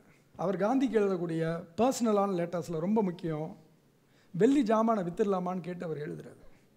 அவ்வளோ பெரிய தியாகம் இருக்குது காந்தி என்னத்தை எடுத்துகிட்டு போனார்? காந்தி மூணு அடுக்கு மாளிகைகளில் பிறந்தவர். இருபது வயசில் வந்து தென்னாப்பிரிக்கா போகும்போது சம்பாதிக்கணும்னா போனார். இருபதுலேருந்து நாற்பத்தஞ்சு வயசுங்கிறது எவ்வளோ மிக முக்கியமான காலகட்டம் ஒரு மனுஷனுக்கு. தென்னாப்பிரிக்காலேருந்து இங்கே வந்து இறங்கும்போது வெறும் பையோட தானே வந்து இறங்குறாரு. இந்த தியாகத்துக்கெல்லாம் நம்ம முதல்ல என்ன பண்ணியிருக்கோங்கிற கேள்வி இருக்குல்ல. ஒரு காந்தி படம் ஒரு நேரு படம் ஒரு பெரியார் படம் தொண்ணூற்றி நாலு வயசு வரைக்கும் மூத்திரக்குடுவையை தூக்கிக்கிட்டு இந்த தமிழ் சமூகத்துக்காக உயிரை விட்ட ஒரு மனுஷன். நம்ம பிள்ளைங்களுக்கு அந்த மனுஷனோட ஃபோட்டோ நமக்கு வீட்டில் இல்லைன்னா என்ன நன்றி உணர்வு முதல்ல இருக்குது இதெல்லாம் அடிப்படையில் நல்ல விளிமியங்கள் மேலான நம்பிக்கை ஒரு நல்ல படத்தை மாட்டி வைக்கிறதுங்கிற ஒரு பெரியார் படத்தையோ ஒரு காந்தி படத்தையோ நேரு படத்தையோ மாட்டி வைக்கிற ஒரு அண்ணா படத்தையோ மாட்டி வைக்கிறதுங்கிறது விளிமியங்களுக்கு இந்த சமூகம் கொடுக்க மரியாதையை பிரதிபலிக்கிறது. அதுதான் சொன்னேன்னா பெங்கால் கம்யூனிட்டி ஏன் வந்து என்ன இருந்தாலும் அது தனியாக நிற்கிது அப்படின்னு சொன்னால் அவர்கள் அந்த விளிமியங்களை கடத்திக்கிட்டு இருக்காங்க. பாரதிக்கு தாகூருக்கு என்ன வித்தியாசம் இருக்கு? அல்லது வள்ளுவர்? நம்மளோட வீட்டில் இல்லையே. நாம் வந்து அரசாங்கத்தை பார்த்து கேள்வி கேட்கிறோம். அரசாங்கம் நம்மை விட எவ்வளோ மே மேம்பட்டது? ஒவ்வொரு பேருந்துலேயும் அவரோட குரலை போட்டவர் கலைஞர். அவர் பேரில் போக்குவரத்து கழகம் நடத்தினார். அவருக்கு இவ்வளோ பெரிய சிலை அமைச்சிருக்காரு. உலகத்தில் எங்கேயும் இதெல்லாம் கிடையாது. பஸ்ஸு ஃபுல்லாக வந்து ஒரு போய்ட்டோடைய கவிதை எழுதி வச்ச வரலாறுலாம் உலகத்தில் எங்கேயும் கிடையாது. மக்கள் நம்ம வந்து அவ்வளோ ஈஸியாக வந்து நம்மளுடைய தலைவர்களை குறை சொல்கிறோம் நமக்கு உன்னதங்களை பற்றி என்ன பார்வை இருக்குது உன்னதம்னா என்னன்னே தெரியாத உன்னதத்தை தன் வீட்டில் அனுமதிக்காத அறிவை ஒறுக்கக்கூடிய ஒரு சமூகம் கீழே தான் இருக்க முடியும். முதல்ல நம்ம நம்மளேருந்து மாற்றிக்கிறது தான். அதுதான் காந்தி சொல்கிறது நீ விரும்பும் மாற்றத்தை முதலில் உன்னிடத்திலிருந்து தொடங்கு. வெளியில் பிரச்சாரம் பண்ணிக்கிட்டு இருக்காத. நீ என்னவா இருக்குங்கிறத முதல்ல பாரு அப்படிங்கிறது. அப்போ நாம் ஒரு நல்ல சூழலை விரும்புகிறோம் அப்படின்னு சொன்னால் நம்மள்கிட்ட அந்த சேஞ்சை முதல்ல அனுமதிக்கணும். அதை வந்து அடுத்தவங்களுக்கு ஸ்ப்ரெட் பண்ணணும். அப்புறம் இந்த விளைவுகள்லாம் இந்த மாற்றங்கள் எல்லாம் உடனே வந்து இன்றைக்கே வச்சு அப்படி மலர்ந்துரும்லாம் நினைக்கக்கூடாது. இது ஒரு தொடர் பயணம். இன்றைக்கி நம்ம இப்படி விதை போட்டுக்கிட்டே போயிட்டே இருக்கலாம். ஒரு ஐம்பது வருஷம் நூறு வருஷம் கழித்து அது முளைக்கும். நிச்சயமாக முளைக்கும். ஏன்னால் அது வீரியமிக்க விதை. முளைக்கும். ஆனால் திராவிட இயக்கம் செஞ்சதே முக்கியமான விஷயம் என்னென்னா வந்து இங்கே இருக்க பசங்க பொண்ணுங்க எல்லாருமே பேர் மட்டும்தான் போட்டுக்கிறாங்க. அதுக்கு பின் உள்ள ஜாதியை தூக்குனது தான் திராவிட இயக்கம் செஞ்ச மிகப்பெரிய வெற்றியே அதான். வேறு எந்த மாநிலத்தில் நீங்கள் சொன்ன பெங்காலில் கூட அது இன்னும் இல்லை. ஆமாம் உண்மைதான். அதுக்கடுத்து நான் சொல்ல வேண்டிய ஒரு விஷயம் என்னன்னா ஜல்லிக்கட்டை வந்து நம்ம பெரிய போராட்டமாக பார்க்குறோம் ஆனால் ஜல்லிக்கட்டோட அந்த பின் விளைவுகளை நம்ம சரியாக அறுவடை செய்யவில்லை. என்ன அறுவடை செல்ல செய்யவில்லைன்னா நான் ஒரு கிராமத்துலேருந்து வந்த பையன். அந்த ஜல்லிக்கட்டு நம்ம எதுக்காண்டி கம்பைன் பண்ணோமோ அதை விட்டு மாற்று வழியில் போய்க்கிருக்கு. அந்த ஜல்லிக்கட்டுக்கு வைக்கக்கூடிய விளம்பரமெல்லாம் நான் சொன்ன அந்த பேர் இருக்குதுல்ல அந்த பேரை மாற்றுது. அதுக்கான கட்டுரை நீங்கள் கண்டிப்பாக எழுதணும். அதான் என்னுடைய விருப்பம். நன்றி. ஐயா மொ மொழி போராட்டங்கள் குறித்து இளைய தலைமுறைக்கு சொல்லணும்னு சொன்னீங்க. நான் இப்போ ரெண்டு மாதத்துக்கு முன்னாடி சென்னையில் தமிழாசிரியராக ஒரு சிபிஎஸ்சி பள்ளிக்கு வந்திருக்கிறேன். அந்த மாணவர்கள் கேட்ட முதல் கேள்வி இங்கிலீஷ் தெரியாமல் நீங்கள் எப்படி டீச்சர் ஆனீங்க நாங்கள் இன்றைக்கி அதாவது ஒரு முழுக்க முழுக்க ஒரு வணிகமயமாக கல்வி ஆனதுக்கு காரணம் எந்த ஆட்சி? அதுக்கப்புறம் பார்த்தீங்கன்னா இன்றைக்கி தமிழ்தாய் வாழ்த்து பாடாத பள்ளிகளை சென்னையில் ஐம்பது பள்ளிகளை என்னால் உங்களை கூட்டி கொண்டு காமிக்க முடியும் பார்த்துங்க நீங்கள் சொன்னீங்க டிவி கொடுத்தாங்க சைக்கிள் கொடுத்தாங்க எல்லாம் கொடுத்தாங்க வேலை கொடுத்தாங்களா? திருநெல்வேலியிலையோ தஞ்சாவூர்லேயோ மதுரையிலையோ இன்ஜினியரிங் படிக்கிறவனுக்கு அங்கே வேலை செய்ய முடியுதா? நீங்கள் ட்ரெயினில் பஸ்ஸில் போக முடியலைங்க ஊருக்கு. இவங்க எல்லாம் கொடுத்தாங்க வேலை கொடுக்கல. எல்லாம் இதுக்கு இதுக்கு இது இது குறித்த ஒரு மாற்றம் குறித்து நீங்கள் உங்களுடைய யோசனை நீங்கள் சொல்லணுங்க. நிறைய பேர் கேள்வி இருக்கிறதுனால குட்டி குட்டி குட்டியாக பாஸ் பண்ண பார்க்குறேன். முதல் விஷயம் தமிழ் தாய் வாழ்த்து பாடக்கூடாதுன்னு சொல்லி யாராவது வந்து காதில் ஆசிரியர்கள் காதில் கலைஞரோ ஜெயலலிதா வந்து சொல்லிட்டு போனாங்களா? தமிழ் தாய் வாழ்த்து பாடுறத இப்போ இங்கே பாடினாங்க. யார் வந்து சொல்லி பாடினாங்க? இல்லை இவங்க பாடலைன்னா யார் வந்து பழனிசாமி ஏன் பாடலைன்னு கேட்க போகிறாரு இது எல்லாமே உங் நம்முடைய ஒழுங்கில் இருக்குது நான் இருக்கேன் என் சமூகம் நான் இந்த இடத்துல இருக்கேன். நான் என்ன பண்ணணுங்கிறது என்னுடைய ஒழுங்குலேருந்தும் என்னுடைய நியாயங்கள்லேருந்தும் உருவாகிறது. என்னுடைய குற்றங்கள் எல்லாத்துக்கும் அரசாங்கத்தையோ அல்லது மேலேயோ தூக்கி பழிய போடுறதுங்கிறது ரொம்ப எளிமையானது. அப்புறம் வேலை இல்லைங்கிறதெல்லாம் இல்லை. வேலை வந்து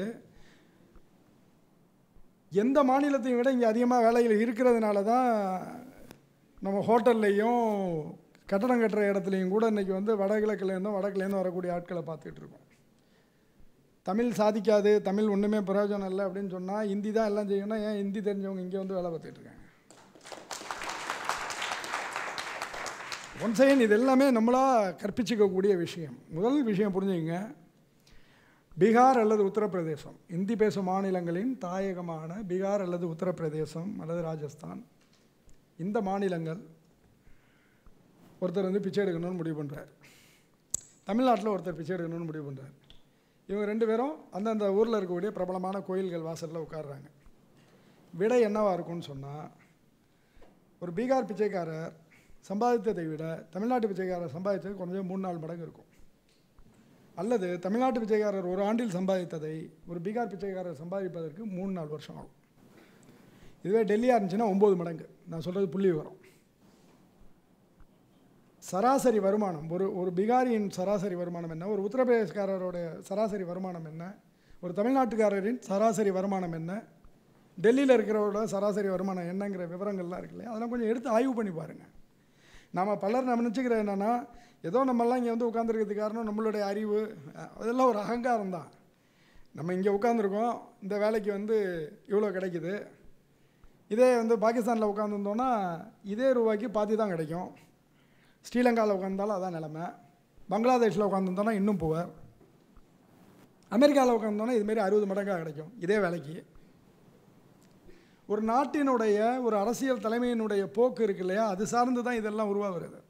எழுபதுகள் எண்பதுகளில் பார்த்தீங்கன்னா தமிழ் படம்லாம் பார்த்தீங்கன்னா எல்லாருமே வந்து பயங்கரமான கோபக்கார இளைஞர்களாக இருப்பாங்க. அந்த படங்கள் எல்லாத்துலேயும் வேலை காலி இல்லைங்கிற போர்டை பார்க்க முடியும். இன்றைக்கி அப்படிலாம் போர்டே கிடையாது. பிரச்சனை என்னன்னு சொன்னால் வேலையில்லா பிரச்சனை இல்லைன்னு நான் சொல்ல வரல. இந்த பொறியியல் படிச்சுட்டு எல்லாரும் பத்தாயிரம் வேலைக்கு பத்தாயிரம் பதினஞ்சாயிரம் வேலைக்கு அலைஞ்சிட்டு இருக்காங்க. பரோட்டா மாஸ்டர் வந்து முப்பதாயிரம் சம்பாதிக்கும் போது பிஇ முடிச்சுட்டு பத்தாயிரம் பதினஞ்சாயிரம் வேலைக்கு போக வேண்டியது நிலை இருக்குன்னு சொல்லி விவாதங்கள் இருக்குது ஆனால் அது தமிழ்நாட்டுடைய பிரச்சனை மட்டும் இல்லை. அதற்கான காரணம் தமிழ்நாட்டு அரசியல்வாதிகள் மட்டும் இல்லை. அந்த புரிதல் இருக்கும். நான் வந்து தமிழ்நாட்டில் ஏதோ தேனாரும் பாலாரும் ஓடுதுன்னு சொல்ல வரல. ஒரு விஷயத்தை தெளிவுபடுத்துகிறேன் திராவிட இயக்க ஆட்சியினுடைய சாதனை என்பது அடிப்படையில் தமிழ் மக்களுடைய சாதனை. திராவிட மக்கள் திராவிட இயக்கங்களுடைய வீழ்ச்சி இழிவு என்பதும் தமிழ் மக்களுடைய இழிவு வீழ்ச்சி தான். தனியார் மயமாக்கல் தாராளமயமாக்கல் உலகமயமாக்கல் இதுக்கும் இல்லை முழுமையாக ஒரு நாட்டில் எல்லாமே அரசுடைமையாக்கப்படுதல். இது ரெண்டுக்கும் உள்ள முக்கியமான வேறுபாடு இதில் மக்களுக்கு எது பயன்பாடுடையதாக இருக்கும் அப்படின்றது தங்களுடைய கருத்து. உங்களோட கருத்து என்னவாக இருக்குங்க? இந்த மாதிரியான விஷயங்களில் வந்து தீர்க்கமாக சொல்கிறதுக்கு நான் ஒரு பொருளாதார அறிஞர் இல்லை. ஆனால் என்ன லெவல்லேருந்து நேர்மையாக என் அனுபவத்துலேருந்து நான் சொல்கிறேன் மன்னார்குடியில் சாதாரணமாக பிஏ கூட ஒழுங்காக படிக்காத ஒரு பையன் இன்றைக்கி வந்து இங்கே உட்காந்து நின்று பேசிகிட்டு இருக்கேன்னா அதற்கு தாராளமயமாக்கல் கொள்ளைக்கும் நெருங்கின தொடர்பு இருக்கிறதா நான் நம்புகிறேன் திராவிட ஆட்சிக்கு எந்த அளவுக்கு நான் தேங்க்ஃபுல்லாக இருக்கணுமோ அந்த அளவுக்கு இல்லை. ஆனால் ஒரு சின்ன ஒரு சின்ன பகுதி தாராளமயமாக்கலும் இந்த சந்தையும் தான் என்ன மாதிரியான ஆளுக்கு இந்த இடத்துல ஒரு இடத்த கொடுத்துருக்கு. சந்தை இல்லைன்னா அது சாத்தியமாக இருக்காது முதல்ல அந்த புரிதல். ரெண்டாவது விஷயம் நான் என்னிலேருந்து தான் எல்லாத்தையும் பார்க்குறது. நேற்று நான் எவ்வளோ சம்பாரிச்சிட்டு இருந்தேன் இன்றைக்கி எவ்வளோ சம்பாரிச்சிட்டு இருக்கேன் பத்து வருஷத்துக்கு முன்னாடி என்ன பண்ணிகிட்டு இருப்பேங்கிறது. அப்புறம் மூணாவது முக்கியமான விஷயம் இது இது சார்ந்து அரச அரசுடைமை அல்லது அரசுங்கிறத வந்து ரொம்ப புனிதப்படுத்தி நம்ம ஊரில் ஒரு பார்வை இருக்குது அது தேவையில்லைன்னு நினைக்கிறேன். அரசுங்கிறதே ஒரு நிறுவனம் தான் எப்போ அதில் முதலீடு அதிகமாக போதோ அதுவும் ஒரு நிறுவனம் தான் பிஎஸ்என்எல் சிம் கார்டு போட்டிருக்கீங்க. ரிலையன்ஸ் சிம் கார்டு போட்டிருக்கீங்க.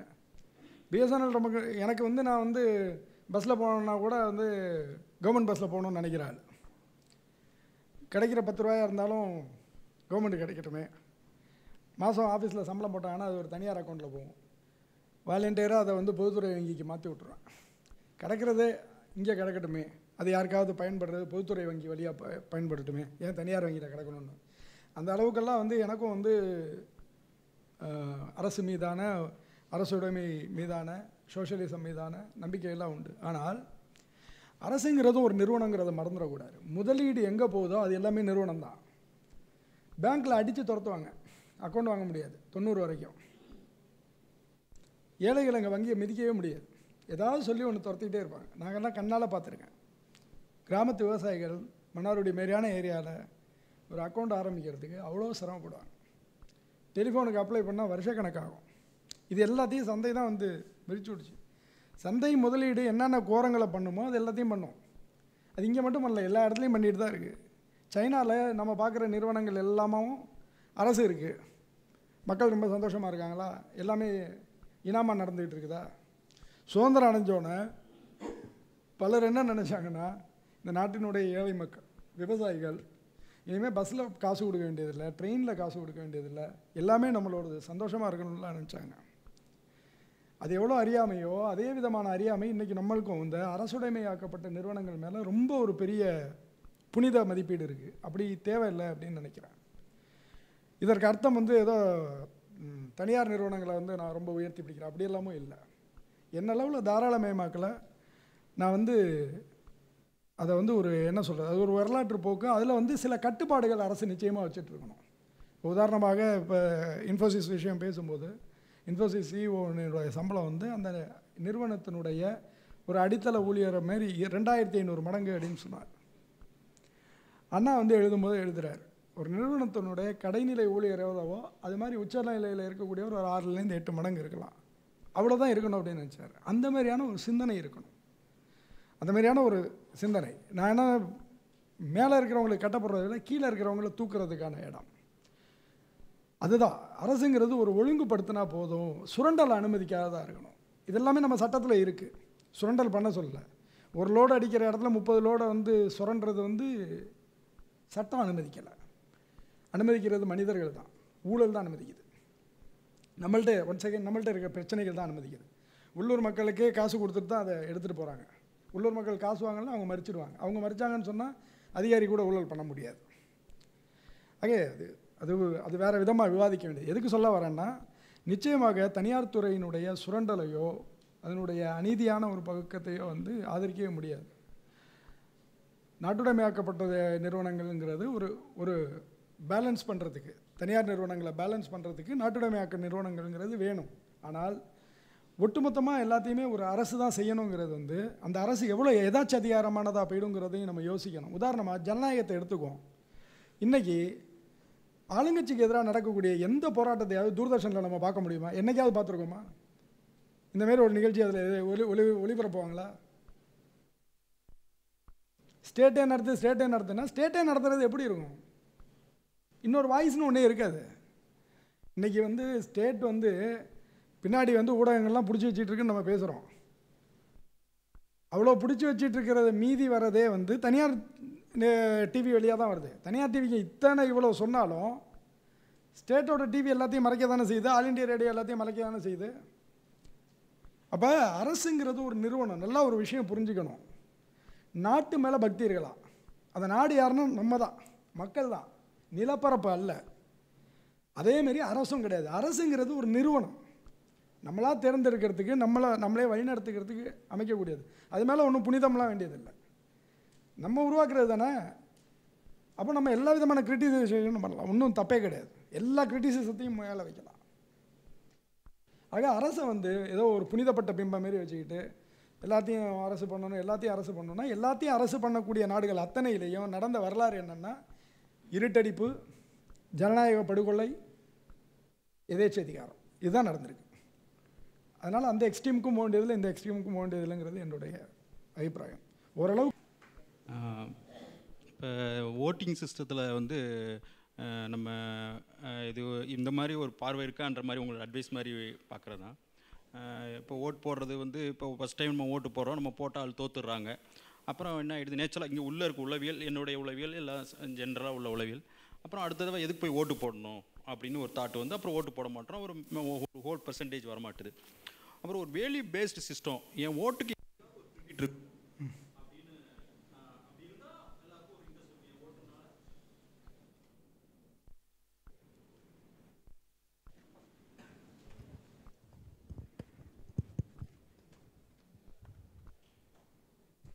என் ஓட்டுக்கு வந்து எங்கேயோ ஒரு இடத்துல எனக்கு ஒரு இது இருந்துச்சுன்னா எல்லாருக்கும் இன்ட்ரெஸ்ட்டாக நம்ம ஓட்டுக்கு எப்படியாவது நம்ம ஒருத்தன் அந்த மனுஷனுக்கு ஒரு வேல்யூ வந்துடும் அப்படின்னு ஒரு இன்ட்ரெஸ்ட் வரும்போது அந்த ஓட்டுக்கு ஒரு மரியாதை வரும். அப்போ நல்ல பெர்சன்டேஜ் கிடைக்கும். இங்கே அதான் பிரச்சனை. அந்த ஓட்டுக்கு எனக்கு மதிப்பில்லை அப்படின்போது நான் பேக்கப் அடிச்சிடுறேன்.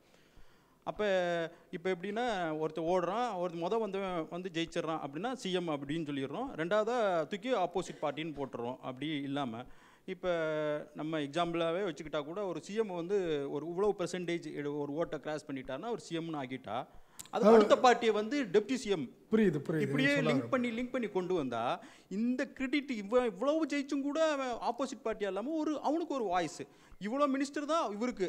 சிஎம் கேண்டிடேட்டில் இவ்வளோ பெர்சன்டேஜ் ஜெயிச்சிருக்காரு. அறுபது பெர்சன்டேஜ் ஓட்டு ஜெயிச்சிருக்காருன்னு இவருக்கு ஒரு மூணு மினிஸ்டர் ஒரு அஞ்சு மினிஸ்டர் வச்சுக்கலாம்னா இந்த பீப்புளுக்கு ஒரு நாலு மினிஸ்டர் ஒரு டூ மினிஸ்டர் இப்படி டிஸ்ட்ரிபியூஷனை பண்ணிக்கிட்டே வரலாம். எய்தர் கிரெடிட் வாங்க யார் இப்போ அறுபது மார்க் வாங்கியிருக்காரு இல்லையா? அவர் ஐம்பது நாற்பது மார்க் வாங்க முடியாத ஆள்கிட்ட நெகட்டிவ் மார்க் போட்டு அவரை காலி பண்ணலாம். இப்படி அவங்களுக்கு அந்த என்னுடைய ஓட்டு அப்போ அங்கே கவுண்ட் ஆகும். என்னை வந்து அவர் திருப்தி பண்ணலைன்னா அவருக்கு வந்து நெகட்டிவ் ஆகிடும் இல்லையா? இப்படி பண்ணும்போது அது இன்னும் ஸ்ட்ரக்சர் டைட்டாக வர மாதிரி இருக்கும். இப்போ இந்த இன்ஜினியரிங் பண்ணால் தான் நல்லாயிருக்கும் இன்னொன்று அதே இதில் ப்ராப்ளம் என்னென்னா இப்போ நான் ஒரு ஓட்டு ஜெயிச்சு இந்த அஞ்சு வருஷத்தில் என்னுடைய நான் ஏதோ ஒரு ஆளுக்காக நான் ஓட்டு போட்டு இவர் ஜெயிச்சிருக்கேன் ஒரு எம்எல்ஏ அப்படின்னா என்னோட இந்த அஞ்சு வருஷத்துக்குள்ளே ஏதோ ஒரு வகையில் இவர் மாறுறாரு அப்படின்னா இவர் வந்து என்னுடைய விருப்பமே இல்லாமல் அவர் வந்து இன்னொரு ஆளுக்கு மாறுறாரு. ஜம்ப் ஆகுறாரு. இல்லையா?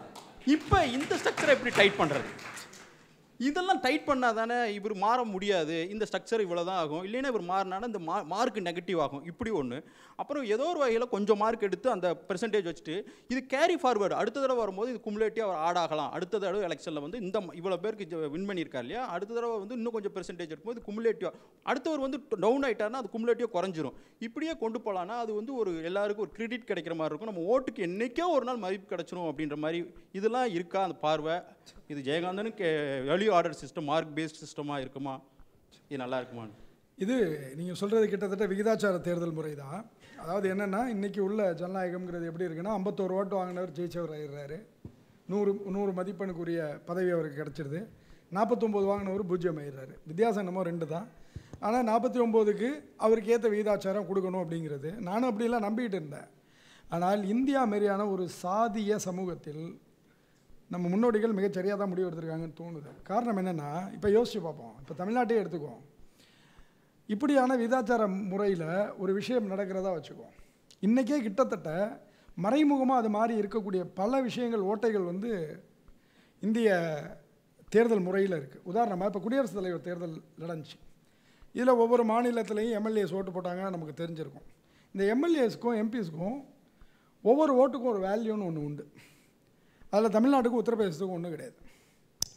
உத்தரப்பிரதேசத்துக்கும் மணிப்பூருக்கும் ஒன்றும் கிடையாது. கிட்டத்தட்ட நான் சொல்ல போகிறது சிக்கிமும் மேகாலயாவும் அங்கே உள்ள ஒட்டுமொத்த சட்டசபை உறுப்பினர்களும் எவ்வளோ ஓட்டு போடுறாங்களோ அந்த மதிப்பும் ஒரு உத்தரப்பிரதேச எம்எல்ஏவோட மதிப்பும் ஒன்று இவ்வளோ பாராமுகம் இருக்குது மாநிலங்களவையில் இன்றைக்கும் இதில் ரொம்ப ஒரு காம்ப்ளிகேட்டான ஏரியா இருக்குது என்ன விஷயம்னா ஜனத்தொகைங்கிறது மெஜாரிட்டி இசத்தை நோக்கி போயிடுது இங்கே. ஆனால் இந்தியா மாரி ஒரு பல சமூகங்கள் இணைஞ்சது. இப்போ உதாரணமாக வந்து தமிழ் தமிழ்நாட்டினுடைய பரப்புங்கிறது ஒரு ஆறு கோடி மக்கள் தான் இருக்காங்க.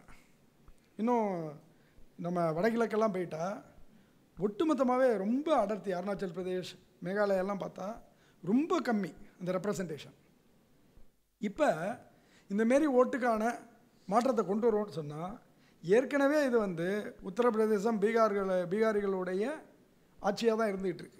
இந்த நீ நீ யோசிச்சு பாருங்கள் ஏன் வந்து உத்தரப்பிரதேசலேருந்து இத்தனை பிரதமர்கள் ஒம்பது பத்து பேர் ஏன் இங்கேருந்து தேர்ந்தெடுக்கப்படணும்? ஏன் இங்கேருந்து தமிழ்நாட்டிலேருந்து ஒரு ஆள் வரல? அல்லது வந்து அருணாச்சல் பிரதேஷ்லேருந்து ஒரு பிரதமர் வர மாட்டேங்கிறாரு மணிப்பூர்லேருந்து வர மாட்டேங்கிறாருங்கிற கேள்வியெல்லாம் நம்ம கேட்டுக்கிறதே இல்லை. இதற்கு காரணமே உத்தரப்பிரதேசத்துடைய எண்பது தொகுதிகள் தானே. அந்த மக்கள் தொகை தானே இருபது கோடி பேர் அங்கே இருக்கிறது தானே. ஒரு தமிழ்நாடு மாரி மூணு தமிழ்நாடு அங்கே இருக்குல்ல உத்தரகாண்டை பிரித்ததுக்கு அப்புறம். இந்த விஷயம் தானே இதோட அடிப்படை. அப்போ இந்த வீதாச்சார தேர்தல் முறையெல்லாம் கொண்டு வரும்போது என்ன ஆகும்னா மேலும் மேலும் பெரும்பான்மைவாதிகளுடைய கரம் தான் வலுப்படும். அதனால தான் வந்து இந்த ஓட்டையை கூட அனுமதித்து அந்த இடத்துல வந்து ஒரு இடத்த வந்து மாற்றி வச்சுருக்கிறாங்க. இந்த இந்த முறையை நம்ம சுவீகரிச்சிட்டு இருக்கிறோம். இதில் ஓ பலகீனங்கள் இல்லாமல் இல்லை. உதாரணமாக ராஜ்யசபைக்கான இடங்கள் எல்லாம் முழுக்க மாற்றப்பட வேண்டும். கட்டாயமாக மாற்றப்பட வேண்டும். யூபிக்கு வந்து பத்து சீட்டுன்னா தமிழ்நாட்டுக்கும் பத்து சீட்டு மணிப்பூருக்கும் பத்து சீட்டு அப்படி தான் இருக்கணும். அதுதான் வந்து பன்மைத்துவத்தை பல்வேறு சமூகங்கள் பல்வேறு இனக்குழுக்கள் பல்வேறு மொழி குழுக்களை பல்வேறு தேசிய இனங்களை அவங்கள பிரதிநிதித்துவப்படுத்துகிற மாதிரி இருக்கும். இந்த மக்கள் சார்ந்து எண்ணிக்கை சார்ந்த பிரதிநிதித்துவங்கிறது இப்போ உதாரணமாக தமிழ்நாடு வந்து மக்கள் தொகையில் கம்மி மேலும் மேலும் மக்கள் தொகையை கட்டுப்படுத்திகிட்டு இருக்கோம். இதற்கான வந்து தண்டனையை அனுபவிக்க முடியும். அல்லது மக்கள் தொகை அதிகமாக வச்சுருக்கிற மாநிலங்கள் வந்து அதிகமான வசதியோ அதிகாரத்தையோ கைப்பற்றுறதுங்கிறது அதுக்கான பரிசா? அது எப்படி இருக்க முடியும்? அப்போ நமக்கு நிறைய சீ சீர்திருத்தங்கள் தேவைப்படுது. ஆனால் விகிதாச்சார தேர்தல் முறைக்கு மாறுவதுங்கிறது உசிதம் இல்லைன்னு நினைக்கிறேன். நானே அப்படி நினச்சிருக்கேன். நான் என்னுடைய கருத்தை மாற்றிக்கிட்டேன் திராவிட இயக்கம் பற்றி நான் பேசிகிட்டு இருக்கும்போது இது எல்லாமே வந்து சினிமா மூலமாக தான் அவங்க கொண்டு வந்தாங்கங்கிறத நம்ம மனசில் வச்சுக்கணும். நண்பர் சங்கரோட பேசிகிட்டு இருக்கும்போது பல விஷயங்கள் பேசிகிட்டு இருக்கும்போது அவர் சொல்லுவார். நம்ம கட்டடம் கட்டுறதுங்கிறது இருக்கு இல்லையா? அந்த வீடுகள் சினிமா பார்த்து கட்டடம் கட்டுறோம்.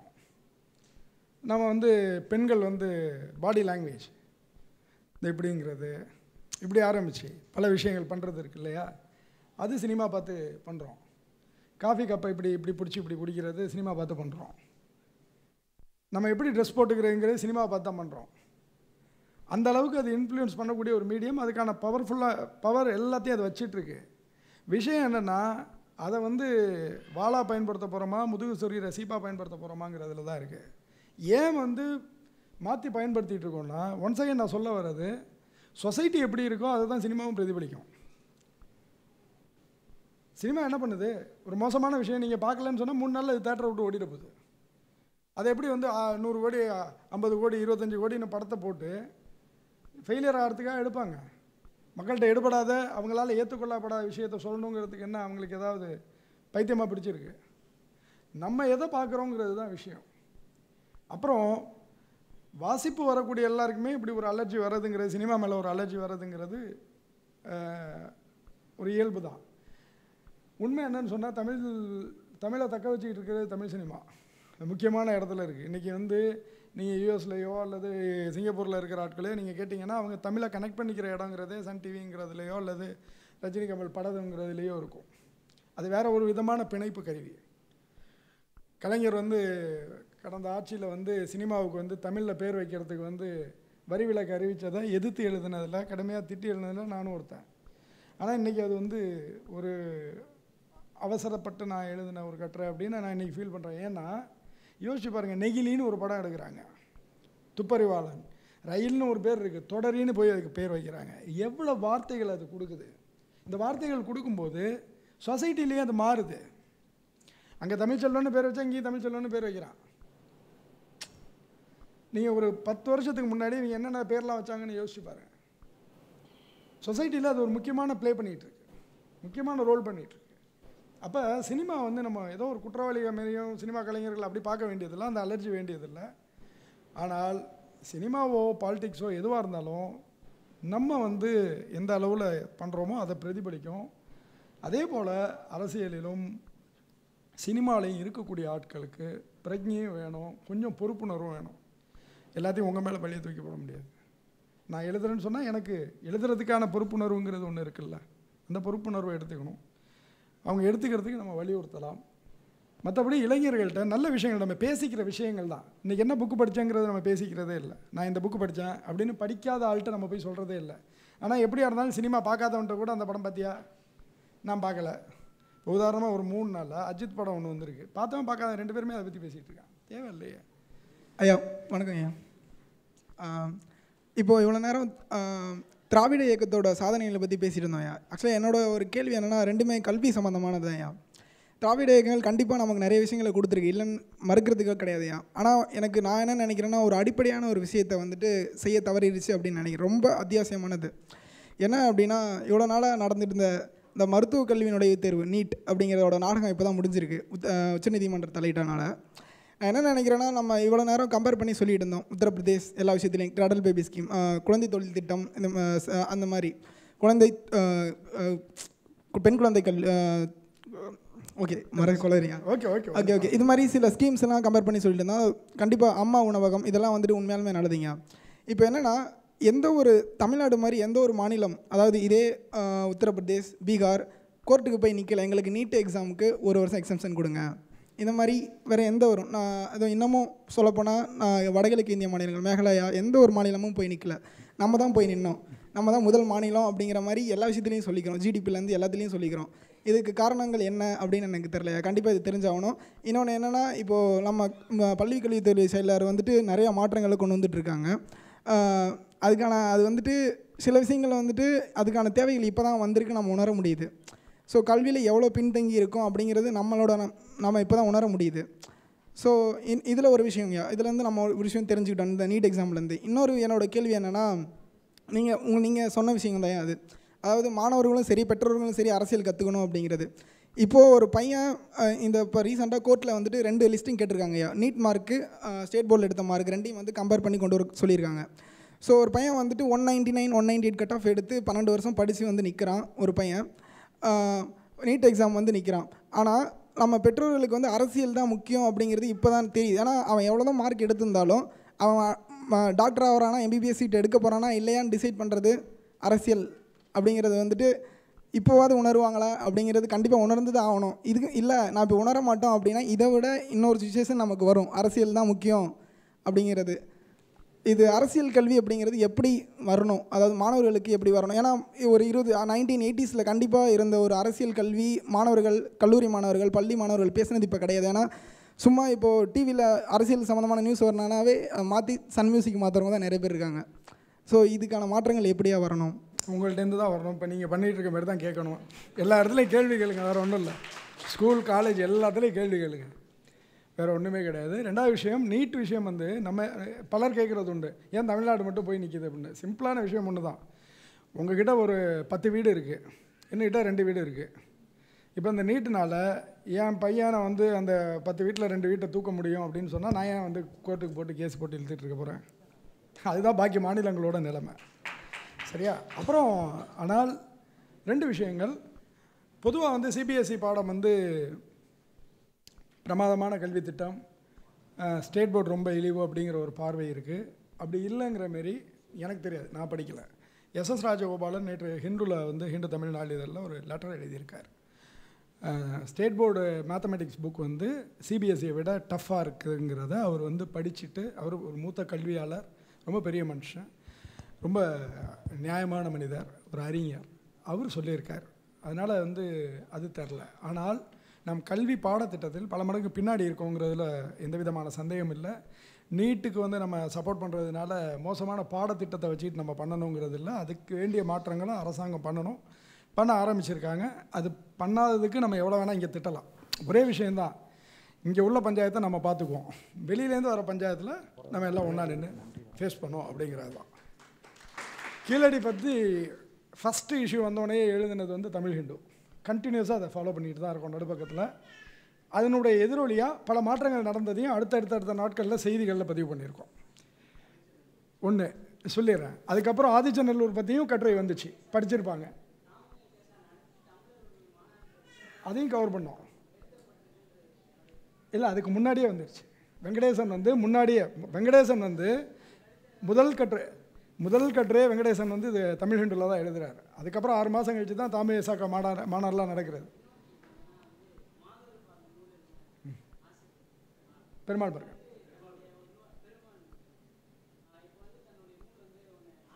ஆமாம்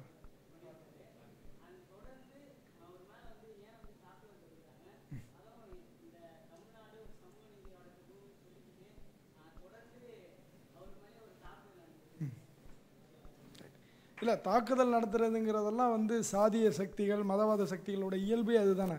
ஏன் வந்து தொடர்ந்து வந்து விநாயகர் சதுர்த்தி ஊர்வலம் பண்ணிட்டு இருக்காங்க அப்படிதான். அது வந்து அவங்களோட வேலைங்கிறத அவங்க பண்ணிட்டு இருப்பாங்க நம்மளோட வேலையை நம்ம பண்ணுறோமா எதிரில் அப்படிங்கிறது முதல் கேள்வி. அதை பண்ணிட்டோம்னு சொன்னால் அது தனியாக நடக்கும். ஒன்று ரெண்டாவது விஷயம் எல்லாருமே கே கேட்டதுனால ரொம்ப பர்சனலாக சொல்கிறேன் இதை ஹிந்து நிறுவனம் சார்ந்தெல்லாம் சொல்லலை. ஹிந்துவை ஒரு உதாரணமாக வச்சுக்கலாம். தமிழில் நல்ல விஷயங்கள் நடக்கக்கூடியது இருக்கு இல்லையா? அது எல்லாத்துலேயும் நம்முடைய பங்களிப்பு என்னங்கிறது பாருங்கள் உன்னதங்கள் பற்றி நான் திருப்பி சொல்கிறேன் உன்னதங்கள் பற்றி பேசக்கூடிய ஒரு சமூகம் உன்னதத்தை பற்றி இப்போ உதாரணமாக பத்திரிகைகள் சிறு பத்திரிகைகள் வந்து அவ்வளோ பத்திரிகைகள் வருது. ஆனால் அதிகபட்சமாக விற்கிறதே காலச்சோடு தான். அதுவே பத்தாயிரம் பிரதிகள் தான் போயிட்டுருக்குன்னு நினைக்கிறேன். அதனுடைய எண்ணிக்கை பத்து வருஷமாக கிட்டத்தட்ட அப்படியே தான் இருக்குது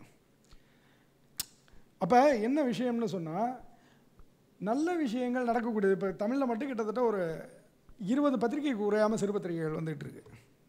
ஆனால் அதில் பல பத்திரிகைகள் டவுன் பஸ் மாரி ஒரு மூணு புக்கு வந்து நாலாவது புக்கில் நின்றுடுது காரணம் என்னென்னா வாங்குறதுக்கு ஆள் கிடையாது. ஒரு பல முக்கியமான கட்டுரைகள் வருது. ரொம்ப முக்கியமான விஷயங்கள் வருது. அதற்கான ஆடியன்ஸ் கூட அதை வாங்குறது இல்லை படிக்கிறது இல்லைங்கிறது தமிழ் இண்டோ பொறுத்த வரைக்கும் இப்போ இந்த கீழடி பற்றி நீங்கள் இவ்வளோ ஆர்வமாக கேட்குறது எனக்கு ஆசையாக இருக்குது அதே சமயம் கீழடி பற்றி வந்திருக்க செய்தியே ஒரு ஒரு பத்திரிகையில் ஒரு நாலு வாட்டி அஞ்சு வாட்டி அதை பற்றி எழுதியிருக்கோங்கிறது உங்களுக்கு தெரியாமல் இருக்குங்கிறது எனக்கு அதிர்ச்சியாகவும் வேதனையாகவும் இருக்குது இல்லை இல்லை நான் இதுக்காக பதில் சொல்லலை. பர்சனலாக சொல்கிறேன் என்ன விஷயம்னா நமக்கு ரெண்டுமே இருக்கணும். இ- இந்த மாதிரியான ஒரு விஷயங்களில் நல்லது நடக்கிறதுல நம்ம ஏதாவது ஒரு வகையில் கன கனெக்ட் பண்ணிக்கணும்னு. அது தமிழ் ஹிந்து மட்டும் இல்லை. எங்கெங்கெல்லாம் யாரெல்லாம் நல்லது பேசுகிறாங்களோ நல்லது பண்ணுறாங்களோ அவங்களோட இணைந்து பணியாற்றுறதுக்கு கருத்து வேறுபாடுகளுக்கு அப்பாற்பட்டும் கூட இணைந்து பணியாற்றுறதுக்கு நம்ம தயாராக இருக்கணும். கருத்து வேறுபாடு விமர்சனம் எல்லாத்தையும் சொல்லலாம். நல்லது பண்ணுற மச்சான் நான் அவன் பக்கத்தில் நிற்கிறேன் அவ்வளோதான் சரியா? அந்த மனநிலை வேணும். அப்புறம் குறையெல்லாம் ஆயிரம் பேசிக்கும். அது ஒன்றும் பிரச்சனை கிடையாது. ரெண்டாவது விஷயம் நீட் எக்ஸாம் பற்றி அதனுடைய பின்னாடி உள்ள அரசியல் பற்றியெல்லாம் எழுதாமல் இல்லைங்கிறது இல்லை.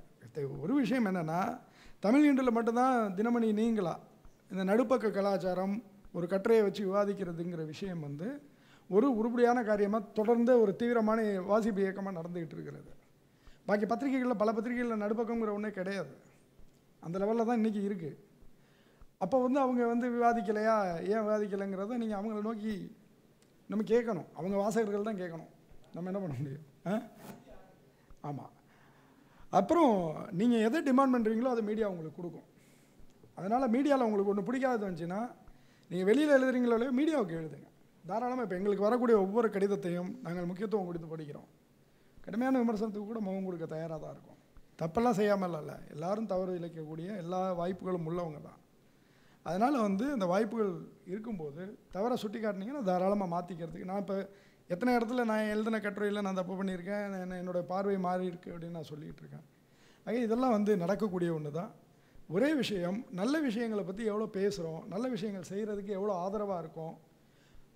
முக்கியமாக வந்து சக மனிதர்களை எந்த அளவுக்கு மதிக்கிறோம் இந்த மூணு விஷயத்தில் தான் இருக்குது நமக்கு பொதுவாக வந்து நண்பர் சங்கர் தான் சொல்லுவார். ஏதாவது நல்லது நினச்சா ஒரு அறிவு சார்ந்த விஷயத்தில் ஒன்று கிடைக்கிற பழக்கம். சும்மா இந்த ஒரு இழிவுபடுத்துறது. அந்த அந்த பழக்கம் வந்து இன்றைக்கி அதிகமாக இருக்குது நீ என்ன பெரிய ஆள் மாரி பேசுகிறது என்கிட்ட இருக்குது சாணி நான் உன் மூஞ்சில் அடி பண்ணேன். அது இருந்துச்சுன்னா கையை மோரும் போதும் சோறு போகும்போதும் அது போயிட்டு தான் இருக்கும். இது ஏன் போயிட்டுருக்குன்னா சாணி எடுக்கக்கூடாது. சாணி எடுத்து அது முதல்ல முதல்ல ஒன்றை தான் ஓட்டும் நீ அடிக்கிறது வந்து செவுத்தில் தான் அடிக்கிற. ஆள் மேலே அடிக்க முடியாது. வார்த்தை மேலே அடிக்க முடியாது.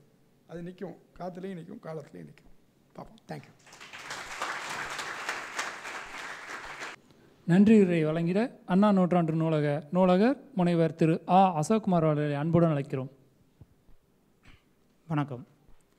இந்த உலகத்தில் கடினமான விஷயங்கள் எளிதானவற்றிலிருந்து தொடங்குகின்றன என்கிறார் சீன ச தத்துவஞானி லாவோட்சு. அவ்வகையில் சிறு பொடியிலிருந்து தொடங்கும் மன நெருப்பைப் போல மாற்றம் என்பது எளியவற்றிலிருந்து துவங்க வேண்டுமென இன்றைய உரை அறிவுறுத்தியது. பொது வழியில் மாற்று என்று நம்முன் வைக்கப்பட்டதெல்லாம் ஏமாற்றாகவும் மாற்றம் என்று கற்பிக்கப்பட்டதெல்லாம் தடுமாற்றமாகவும் இருப்பதற்கு கடந்த காலங்களே சான்று. தனி மனிதன் தன்னிலிருந்து தொடங்கும் மாற்றமே மாபெரும் சமூக மாற்றமென மாகுமென நமது சிறப்பு விருந்தினர் அழுத்தமான இன்று நமது உரையில் பதிவு செய்திருக்கிறார். மேலும் வாசகர்களுடனான கலந்துரையாடலில் உலக நிலைப்பாடு மூடநம்பிக்கை தற்கால அரசியல் ஊழல் உள்ளிட்ட பல விடயங்களில் வெளிச்சம் பாய்ச்சினார். இத்தகு சீர்மிகு சிறப்புரையை கலந்துரையாடலை நல்கியிருக்கும் நாளிதழ் நாடு பக்கங்களின் நாயகன் எழுத்தாளர் சமாஸ் அவர்களுக்கு அண்ணா நூற்றாண்டு நூலகம் தனது மனமார்ந்த நன்றியையும் மரியாதையும் தருணத்தில் பதிவு செய்கிறது எண்ணங்களில் மாற்றங்கள் மூலம் ஏற்றங்களுக்கு வாரந்தோறும் வழிவகை செய்கின்ற பொன்மாலை பொழுது போன்ற தொடர் நிகழ்ச்சிகள் இங்கு நடைபெற வழிவகை செய்த பள்ளிக்கல்வித்துறை செயலர் உள்ளிட்ட அனைத்து உயர் அதிகாரிகளுக்கும் பல்வேறு இடங்களிலிருந்து வரைபுரிந்து வா வாசக பெருமக்களுக்கும் நிகழ்வை ஒளிப்பதிவு செய்து நேரலையில் வழங்கி கொண்டிருக்கும் தமிழ் இணைய கல்விக் கழக தொழில்நுட்பக் குழுவினருக்கும் சக நூலகர்களுக்கும் நண்பர்களுக்கும் நூலகத்தின் சார்பில் என்றைக்குமான நன்றியும் அன்பும்.